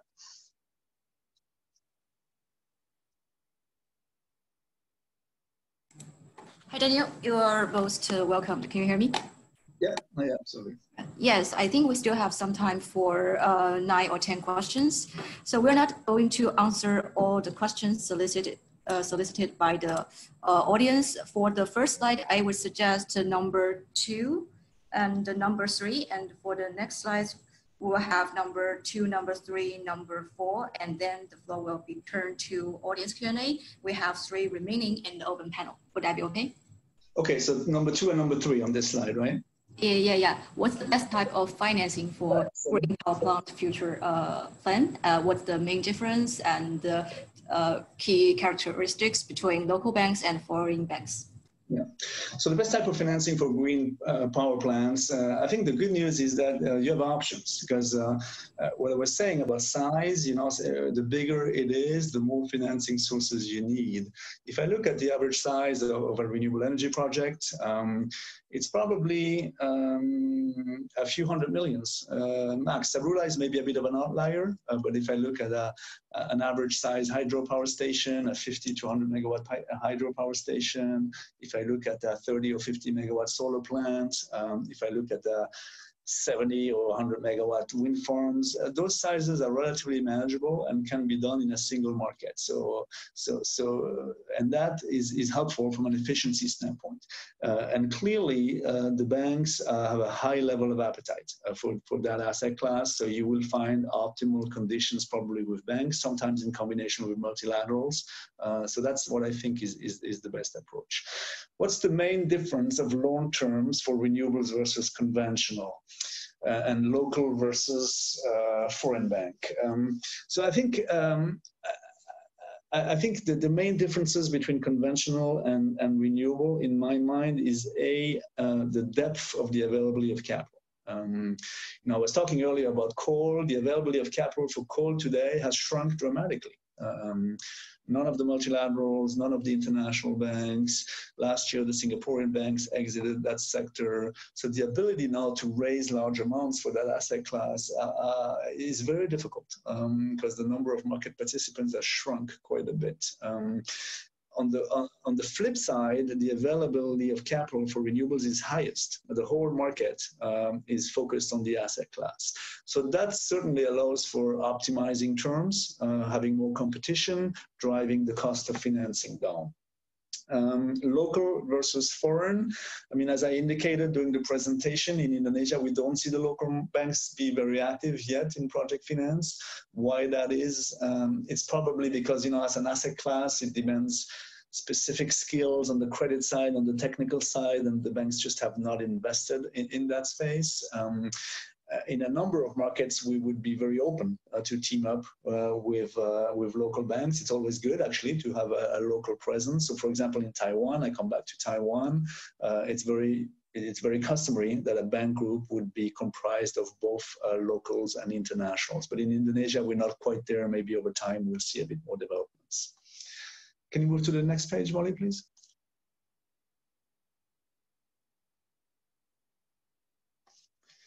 All right, and here you wanted me to cover which ones? Uh, yes, uh, number two, three, and four. Okay, so the uh, the worries of the banks, uh, I think I covered that a little bit. So the key risk factors uh, are really what I mentioned earlier: regulatory framework, quality of the revenue agreement. Uh, that is that is paramount for a long-term investment, and then adequately mitigating construction risk and operating risk. those are probably the the, the, the top uh, the top items. How do I grade Indonesia's market access for international capital? I think it's high. Uh, I think it is. Um, you know, Indonesia is a big market. I mean, it's it's a market that provides a lot of opportunities. So um, so it, it's not it's a market that cannot be ignored. If you are an energy an energy banker in this part of the world, you will spend some time in Indonesia because it, it is a recurring source of opportunity. Uh, secondly, Indonesia is investment grade. Um, the sovereign credit rating is investment grade, so that opens up new avenues uh, of, of capital that makes it a bit more attractive also to the bond market that I was talking about. So I think the available the, the access for international capital is quite high and, and across um, across um, across sources of funding.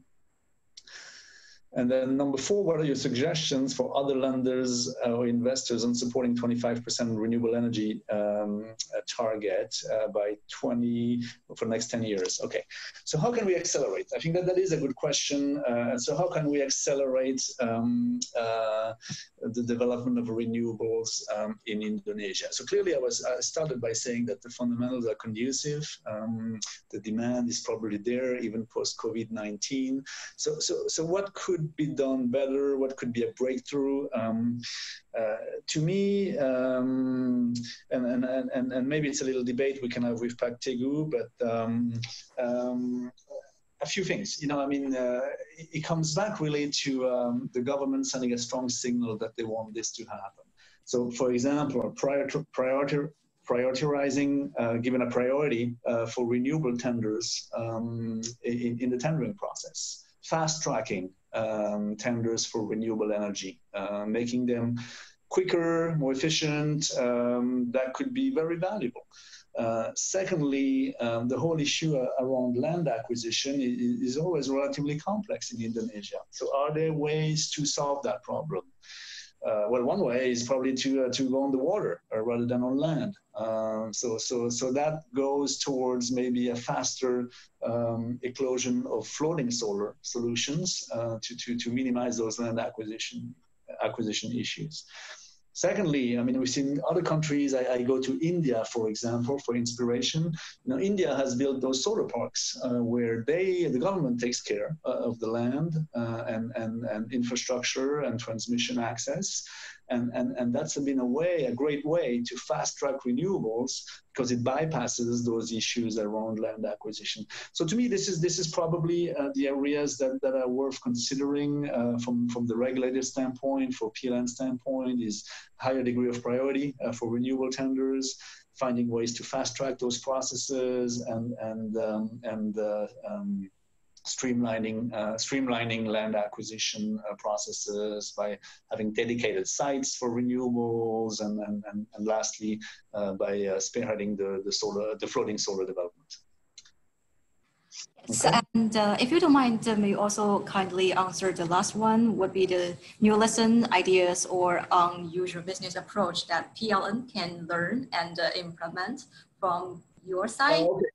Uh, okay, so uh, it's probably along the same lines, right? I think um, PLN is a valued, um, a valued entity uh, to, to make this happen. Uh, I think they're clearly central in, in setting policy. Um, uh, so, so I think uh, I, I, would again encourage to to find ways to uh, to optimize tendering process uh, for renewables. Um, I think capital will capital will be available. Uh, I, I, can commit to that. That capital for renewables will be available even in disrupted times. so we would be very open to to to continue to work with PLN on on fast track processes for the developing renewables across Indonesia. Okay. And uh, may you kindly open up your uh, open panel uh, in the Q&A box. And uh, I think we will try to uh, address the top three questions. First, from an anonymous uh, attendee, Daniel, what is the minimum project value or project size for a solar PV project to be um, project financed? Um, yeah, I think um, you know it's the, the, issue is not so much um, the, the, core of the issue is uh, um, financing a 10 megawatt project or a 75 megawatt project is probably going to cost substantially the same uh, from a due diligence standpoint, from a legal standpoint, from a technical due diligence standpoint. Uh, so it's more to find a way to amortize transaction costs. I mean, I, I was referring to the project that we're doing at the moment. It is uh, 22 megawatts. Um, uh, so it's relatively small in size. Um, uh, can, can, you do uh, much smaller than that? It, it, becomes to be costly. The smaller you go, the more costly it is. But I would say uh, um, uh, 25 megawatts and up uh, is probably um, is, is probably the size for a single financing. And the second one would be um, from uh, Lane um, again. And the questions uh, would be the uh, model PPA for PLN, as well as I think the collaboration model between uh, PLN, its uh, subsidiary, and the foreign stakeholders. Um, okay, the latest. yeah, I think. Um, uh, so transfer to a to a mandatory partner, I, I think that is really primarily an equity consideration. Um, the fact that you have to, to you have a mandatory requirement to bring in a, a partner. Uh, I think from a, from a lender standpoint, having a, a local uh, local partner, or uh, I was referring to Asahan, for example, PJB is in the equity there. That, that is not necessarily a negative. Um, on the specifics of the of the PPA for mini hydro. Um, uh, I would have to defer on that. Um, um, I don't think I can address that right now at the moment. Okay, then last one, uh, Mr. David Goulier from ENGIE, and asking about the comparison between Indonesia and other uh, ASEAN countries in terms of renewable energy development. May you kindly address? Yeah, yeah, and I think uh, I think David, um, uh, potential is there, um, and and you, you you've invested in geothermal, so you know it firsthand. Um, so the potential is there. I think it comes back to a little bit to what I was trying to address uh, in, the, in the previous two questions: is um, is there a way to to fast track tendering processes? Um, uh, is there a way to um, uh, to streamline land acquisition um, processes? Those are typically the things that are cumbersome a little bit and, tend to uh, uh, tend to create um, tend, tend to slow down really the development of the of the industry. And then I go back again to what we see in other uh, other markets like India or Taiwan, um, where, where they've been able to, to really fast track. So I think there's a lot of lessons to be learned uh, from some of the other other markets in the region uh, to that respect. Yes, uh, thank you so much, Daniel, for the very informative presentation. And as mentioned earlier by PLN, that the local bank is um, not uh, very active in terms of the renewable finance, hence putting international capital at a very important role or even at the center of this whole uh, project development. And we look forward to SG as well as other international financiers support to the market. And if you don't mind, uh, may I switch the um, uh, presenter to uh, Mr. Johan? Hello?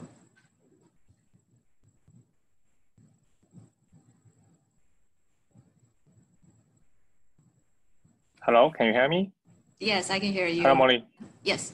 So can you see my uh, sharing? Yes, um, already. Okay. Oh, sorry. I think I. Sorry, one moment.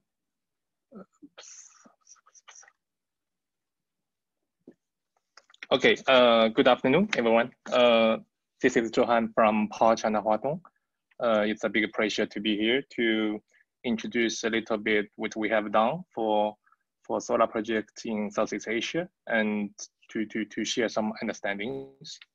Uh, uh, as introduced, I'm um, Johan in charge of uh, uh, our business in Southeast Asia, more specifically uh, uh, Asia Pacific. So that we focus more in these 10 countries for now and we have a business in most of the countries here. So um, we are a company from China, right, located in Hangzhou, and we have a, a lot of branches in, in the worldwide. Uh, since this um, this afternoon, this meeting is more about uh, solar and uh, renewable energies. So uh, I just use one slide to introduce a little bit what we do. So until now, um, for solar uh, projects, we have about uh, 1,000 megawatt EPC projects in Southeast Asia, uh, uh, mostly in Vietnam, in Malaysia, potentially in the Philippines and Indonesia, of course. And we have in the worldwide for EPC is about 3,000 megawatt, including Middle East, South America, and Europe. So um, for floating solar, we have about 100 megawatt uh, pipeline. Actually, uh, 100 already completed. so more in our pipeline in many countries in Southeast Asia. Actually, I will introduce a little bit later. So until now in, in this region, uh, uh, with our performance for wind, onshore and offshore wind uh, in several countries here, we are trying to be actually the, the biggest EPC company for, for renewable energies, uh, including solar and wind. Right, that's uh, that's a, uh, a, little bit about our background. So we go to Indonesia. Um, actually it's very easy to find out that uh, Indonesia has very big potential for solar power plants, and this is a, a map from World Bank institution. So uh, this estimates that in total, the, the, the potential capacity of solar can be about 500 gigawatt, which is immense. And as Mr. Teguh uh, introduced earlier, uh, we can see that uh, we there is already some encouraging pipeline from PLN to, to push more projects and more development of solar or other renewable energies. So um, that's why we are here today, and uh, we uh, really hope that we can have more chance to to uh, to help develop more projects uh, in, in Indonesia, which will be very very huge potentials. So uh, next, I will uh, give some cases for what kind of projects we have done, especially for solar, to to give you some understanding of what what kind of projects we can do in Indonesia, especially uh, as the topic of my introduction is uh, solar at dams, so mostly connecting to, to water. Um, so uh, first of all, I just introduce uh, two projects we have uh, done for floating solar, uh, which is quite new and developing very, very fast now. this is a project in, in China we completed about three years ago it's uh, it was 25 megawatt. At that time 25 megawatt was quite big right? Uh, so the this project is next to uh, an irrigation dam. So you can see that there's water everywhere. So because it's uh, it's a kind of a reservoir. And uh, uh, some a little bit more about technical uh, parameters to have an understanding for you for you is the water depth of this project about 30 meters so water variation is about four meters and the wind speed is about 30 meters per second. So this, um, uh, this is, I, I mention this because these, uh, these parameters are quite important for a floating solar to be feasible, I mean, technically. Uh, the next one is in uh, Vietnam. We just completed last year. It's about 50 megawatt. Um, so it's invested by, by EVN subsidiary and financed by ADB. So um, uh, I think many of you know that in Vietnam what happened last year. It, uh, so a lot of projects were completed within six to one year. So this project is one of them. So uh, this project, floating solar, is in the reservoir of uh, hydropower, which can be a good reference for, for many locations in Indonesia because uh, uh as Daniel introduced, uh, in Indonesia, a lot of hydropower potentials are existing. So uh, I think a lot of locations can be used for, for floating solar. Uh, uh, so for this project, for this reservoir, the water depth is about 30 meters as well, and water variation uh, almost same, almost same. So uh, uh, this is just for reference, right? at least for for for this kind of conditions, floating solar is probably doable. So I will go a little bit further for these technical uh, identifications. Uh, so we are also uh, um, help, helping uh, develop more floating solars in this region, I mean Southeast Asia countries. Uh, we are doing uh, some projects in Laos, which is quite big as well. and we, we are also helping a lot for the um, projects actually in, in the Laguna Lake of the Philippines. I think many of you know as well, uh, because uh, a lot of investors are trying to uh, develop big uh, floating solar in this lake in the Philippines, uh, which is supposed to be one gigawatt in the future. So for, for that project, for that lake, actually this is a dam, right? This is a natural lake. So what depth is about four meters and the variation is about one to two meters. So uh, for floating solar, it's, it's not really difficult and it's very, I mean, quite conditions to, to build this kind of floating solar.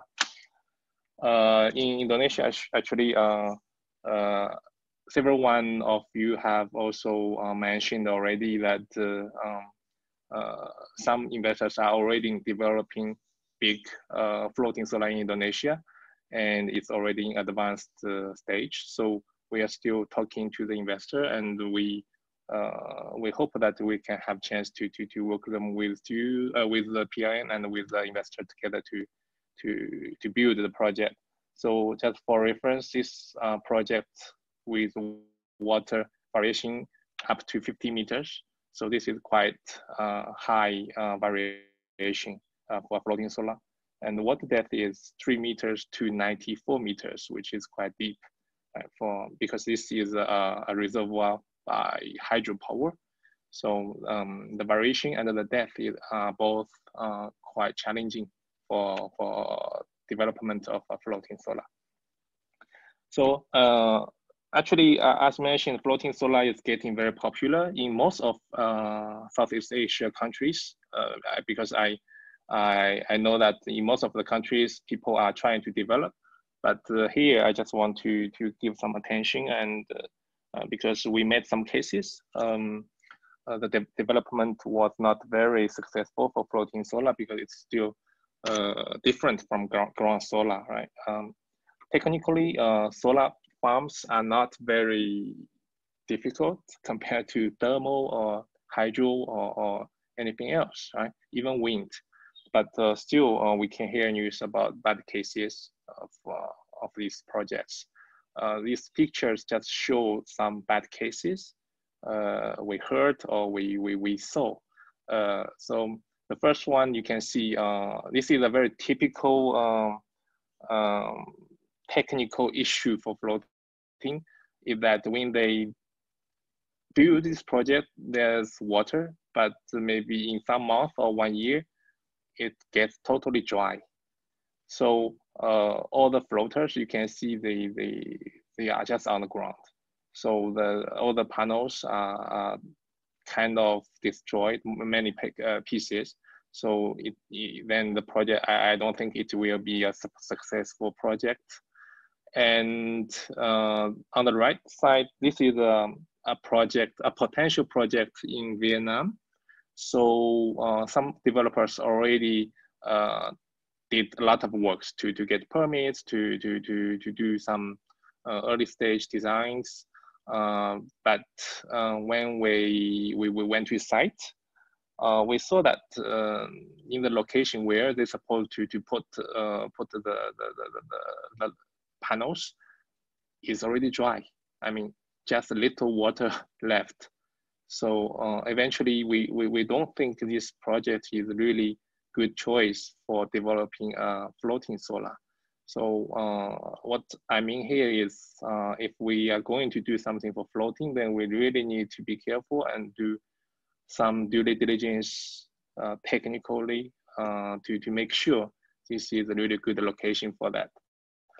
Uh, so uh, we really propose that the developers can take good consideration when of the following items when they decide to to to push forward uh, floating solar, including water depth, water variation, uh, wind speed. Actually, wind speed is also important because we, if you try to check out the news, in Japan, they got typhoon and uh, the whole project was destroyed on fire as well. And wave and flow speed are also important, especially for hydropower reservoir. Uh, water quality is also one of the um, important factor because uh, with bad quality, the corrosion of uh, uh the corrosion may happen and it may affect the reliability of the project. So this is just some uh, reminds uh, for for developers here. So uh, and of course, one of the most important factor is the anchoring system design. So um, because I, I, met a lot of developers who, think the design of a solar or a, the construction of a solar project is very easy, you know, everyone can do. But uh, at least for floating solar, try to get a good anchoring system design before you start to construct. Uh, it's not just a simple connection, then you can let it float, right? Uh, this may give you quite a lot of risk when it's in operation and when it meets like strong wind. So anchoring system design is very important. Uh, aside, um, so uh, I, I mentioned a little bit for floating solar, but what I want to also um, give you some tips is that uh, aside from floating, uh, we can also do, for example, powering for some water area, even for the dam site, I mean, uh, the reservoir site more specifically. For example, this picture shows a project, uh, um, a solar project in China, which is not floating, uh, even you can see uh, maybe it looks like floating, but it's not floating, right? It's on the water, but uh, it's uh, it's uh, installed uh, on the piles. So uh, this uh, the mega, uh, it's about 140 megawatt, and uh, we used the ship to do piling. You can see that the foundation is a pile, right? So it's not floating. And uh, another project we, we just completed last year, the Bao project in, in Vietnam, which is uh, until now the biggest uh, solar farm in Southeast Asia uh, with 500 megawatt uh, capacity. Uh, so, uh, so the owner is B.Grimm and Stringco from Vietnam, B.Grimm from Thailand. So we did the whole EPC within one one year this project is interesting. You can see that uh, the whole project is uh, next to a reservoir, which is an irrigation reservoir with uh, with dam control. So uh, for now, it's uh, it's uh, from the picture you can see it's it's not really in the water, but actually in in about during about four to five months, the whole project will be flooded uh, because of the dam adjust, uh, adjustment. So you can see the blue blue one is the flooding. From September, the, the, the water starts to, to rise and flood the, the whole project. And uh, from uh, December, all the whole project will be flooded. So the flood will go away uh, uh, from February to March next year.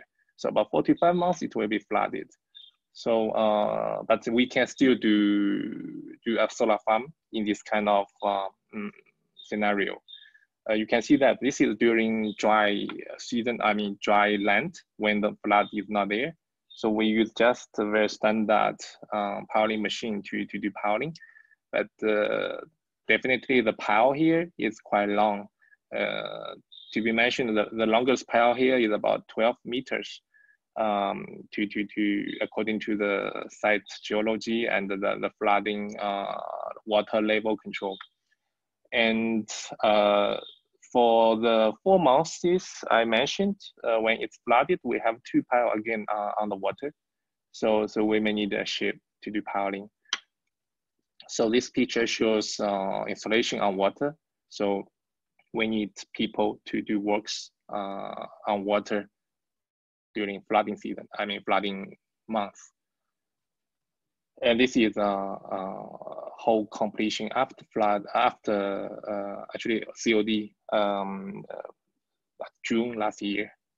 So uh, I, I, mentioned this project to to uh, to say that both floating and piling somehow uh, can be can be considered when you have a location at water site, right?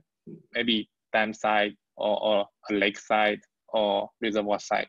So they're both, uh, uh, they can be both doable or maybe uh, one of them can be doable.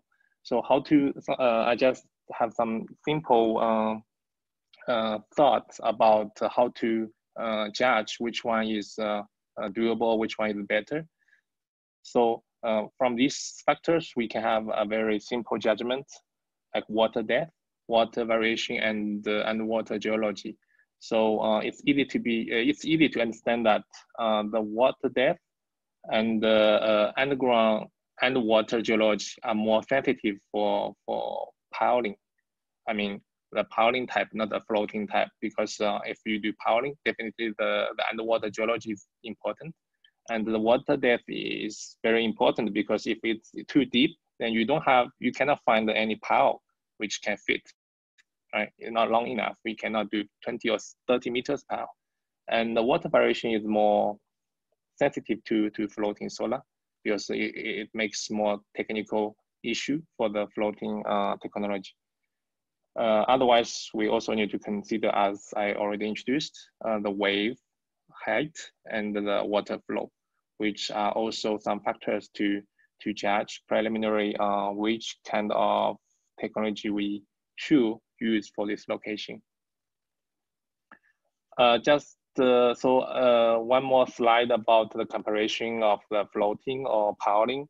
So um, from environment side, I think what we judge is both of them are, slightly negative to, to impact the environment uh, as long as the construction uh, during the construction, we have very careful HSE control. Uh, for the efficient side, uh, the floating solar uh, should have higher efficiency and then uh, ground solar. So uh, it depends of different conditions, but usually it can be five to 10% higher. And powering, uh, it, it, it's a little bit higher than ground solar. So for efficient side, floating can be much more advantageous.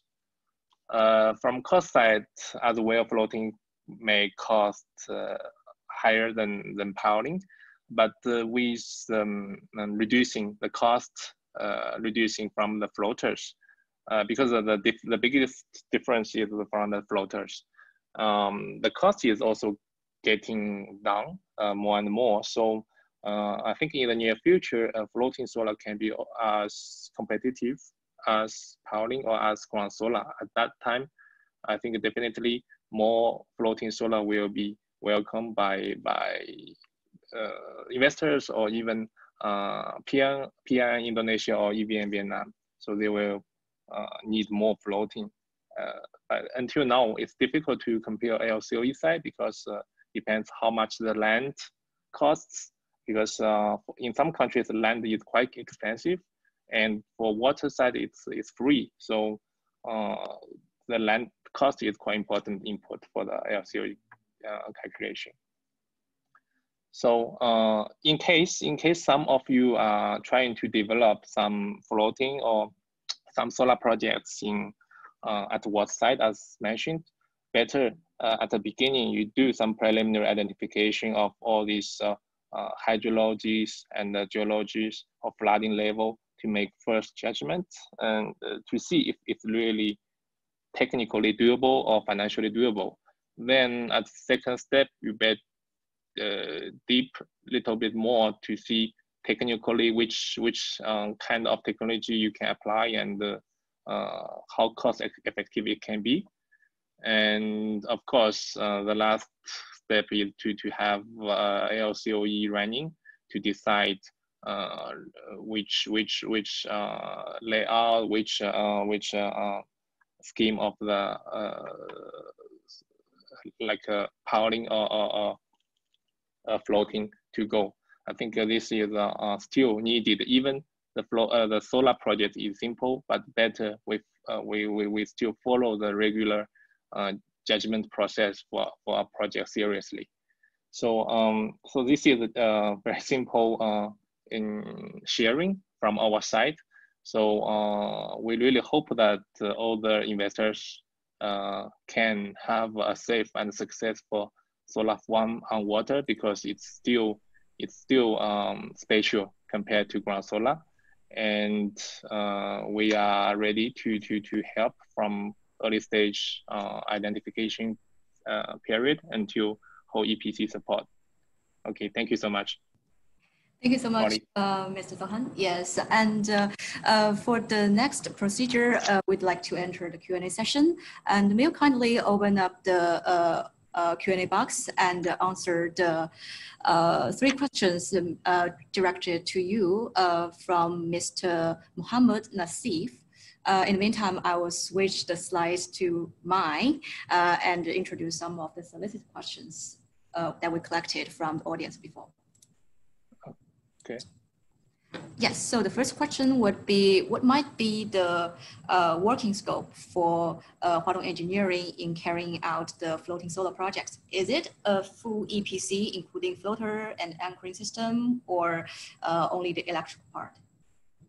Yeah, usually we, we can uh, undertake the whole uh, EPC works, including everything, because uh, we, we try to uh, deliver the whole service to from beginning to the end until COD until TOC, right? So the whole service we can we can handle. Yes, and uh, what's the site maximum wind speed uh, where floating PV can be replaced? Sorry, can be placed. Uh, uh, it, it's uh, it's difficult for now for me to to to say a figure a confirmative figure because uh, uh, it's not only about wind speed and also for, for example, we need to consider of typhoon, a uh, possible typhoon. but uh, definitely uh, with the wind speed uh, going up, then the cost of the anchoring system may arise uh, accordingly. So, uh, so the mm, for most of cases we did like 30 meters, uh, even 40, even higher. It's still doable technically, but when the wind is too too strong, then uh, we don't think that maybe the financially it's it's going to be a problem.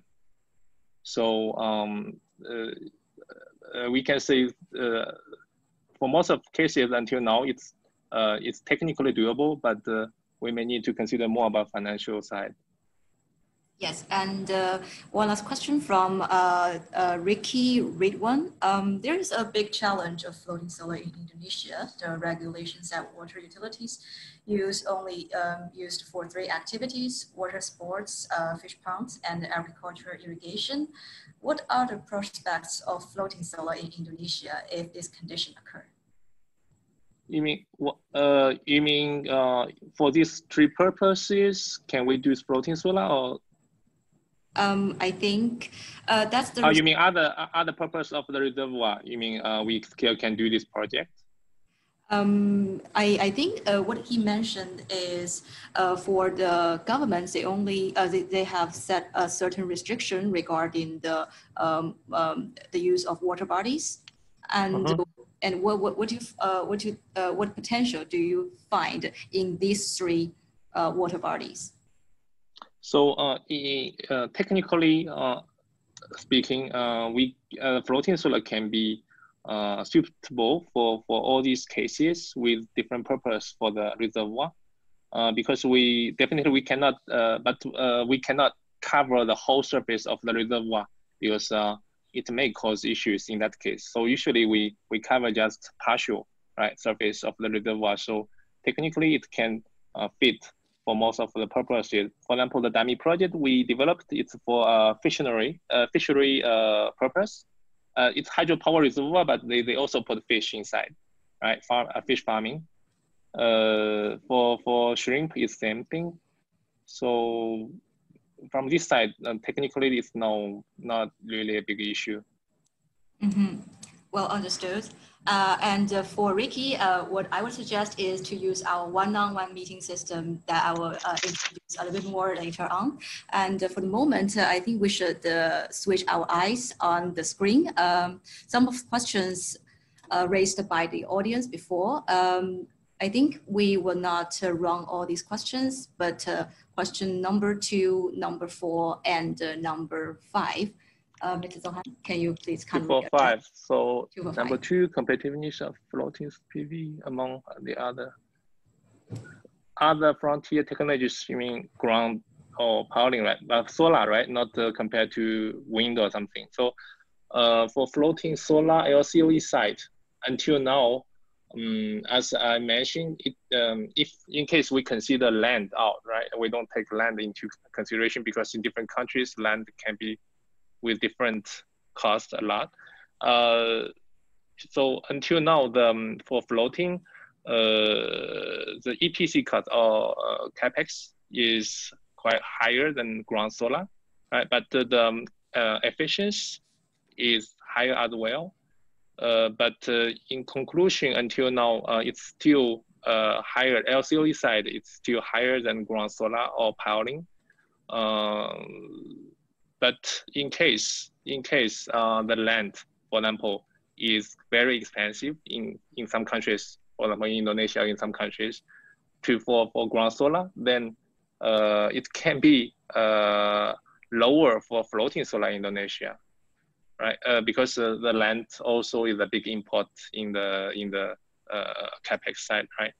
So, so generally speaking, FPV is still higher than others. That's why some countries, for example, um, in Vietnam or in China, they have um, uh, for for feed-in tariff, they, they have higher uh, price compared to ground solar because they want to promote uh, floating solar to to to be pro, uh, processed. Yes. So uh, okay. So go to question number four what are the requirements for insurance? So usually the, the insurance is quite same and until now, uh, my understanding is quite same for for uh, floating solar PV as uh, ground solar PV. Uh, some owners, for example, they, they are worried about the floaters, right? Because uh, it's on the water. So uh, in case the floaters have some big issue, then the whole project will be will be in, in a catastrophe. So uh, so I as far as I know, the floater some uh, reputable floater manufacturers can buy insurance for their floaters, which can give extra coverage. Uh, so this is a special uh, insurance for the floaters and for the project, but uh, it's uh, it's with extra cost. But usually, uh, most of projects they, they, they didn't really have a, additional insurance for that because it's quite costly. Yes. okay. And, and, um, and one more question from my side. Um, so uh, we know that every year uh, that uh, PLN, PTPLN, the national power company, uh, spend heavily on subsidizing the uh, electricity price so that all the poor households can have access to electricity. Uh, when would you think would be a turning point for floating solar projects to emerge as a popular option for the Indonesia market, hmm. competing with think, um, ground-mounted projects? Uh, because in Indonesia, uh, until now, uh, solar is not uh, a, a, very uh, major energy source, right? But actually, the um, in my understanding, because I have stayed in Indonesia for several years, um, I know several actually um, attendees already give out the, the problems we have to develop solar or floating solar. the major problems are more about okay, limitation for imported products like uh, panels, and uh, the, the, the conflict with uh, the control of the uh, PPA feed-in tariff, right? So uh, these big uh, conflicts may give a lot of difficult to, to develop solar, ground solar projects. Then as mentioned, floating solar, for floating solar, the LCOE is usually higher, right? So it's more difficult to promote floating solar than ground solar more, right? In case uh, PLN has same uh, feed-in tariffs for both, right? So at same level, floating solar is more difficult to to to to get uh, uh, promoted. So uh, your question is when you think uh, it's uh, it's more interesting. Uh, but the good thing is, as mentioned, in Indonesia they have a lot of dams, they have a lot of reservoirs, and for ground solar, uh, it's very quite difficult to solve land issue in, in like Java Island, right? So uh, in combination of all these considerations, floating solar can can be at uh, uh, same timing, maybe with ground solar because uh, LCOE is higher, but not that higher. So as you can see, the first floating solar is uh, about 200 megawatt, which is really big and uh, eventually feasible. So uh, I think it will be together with uh, ground solar, like in many other countries. Uh, but better if PLN can consider to have extra uh, compensation for floating solar, then definitely it will help a lot. Yes, thank you so much, uh, Ms. Johan. This is also what we expect to see more solar and the floating solar projects coming up uh, in Indonesia. And thank you again for uh, your detailed explanation on the technological side of the projects, and and uh, we really appreciate it. And thank you so much okay. for all the. Thank you, Molly. You're welcome. Yeah. Staying, uh, staying with us for the two-hour session. And uh, before we end the whole webinar, I'd like take I'd like to take just two more slides in introducing our one-on-one meeting system that is very unique in the whole Southeast Asia energy domain. Um, so uh, as you can see from the, sorry, give me just one minute.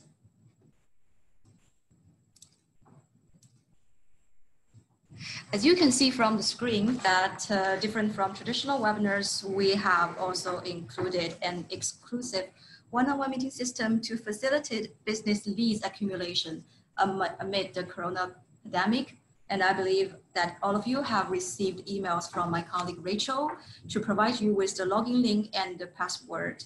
The one-on-one meeting system was launched this Monday and will remain open till May the 25th, next Monday. So it's a week's duration. Um, all the webinar participants have been categorized uh, on the system in terms of their name, job title, organization, and the business scope. So you can easily identify partners that you are interested in and initiate meetings or chats by a simple click. And up to date, uh, for big giants like PLN, PJB, PJB Investing, also the Investment Promotion Center of Indonesia are also on the system. So please feel free to join and uh, do some networking activities. And uh, last but not least, uh, for all the slides, like the video clipping and uh, the uh, presentation slides will be shared with all of you by the end of this week. It will be on Friday. So I hope you all look forward to it and enjoy this webinar very much. Thank you so much. And that's, that's the end of our webinar.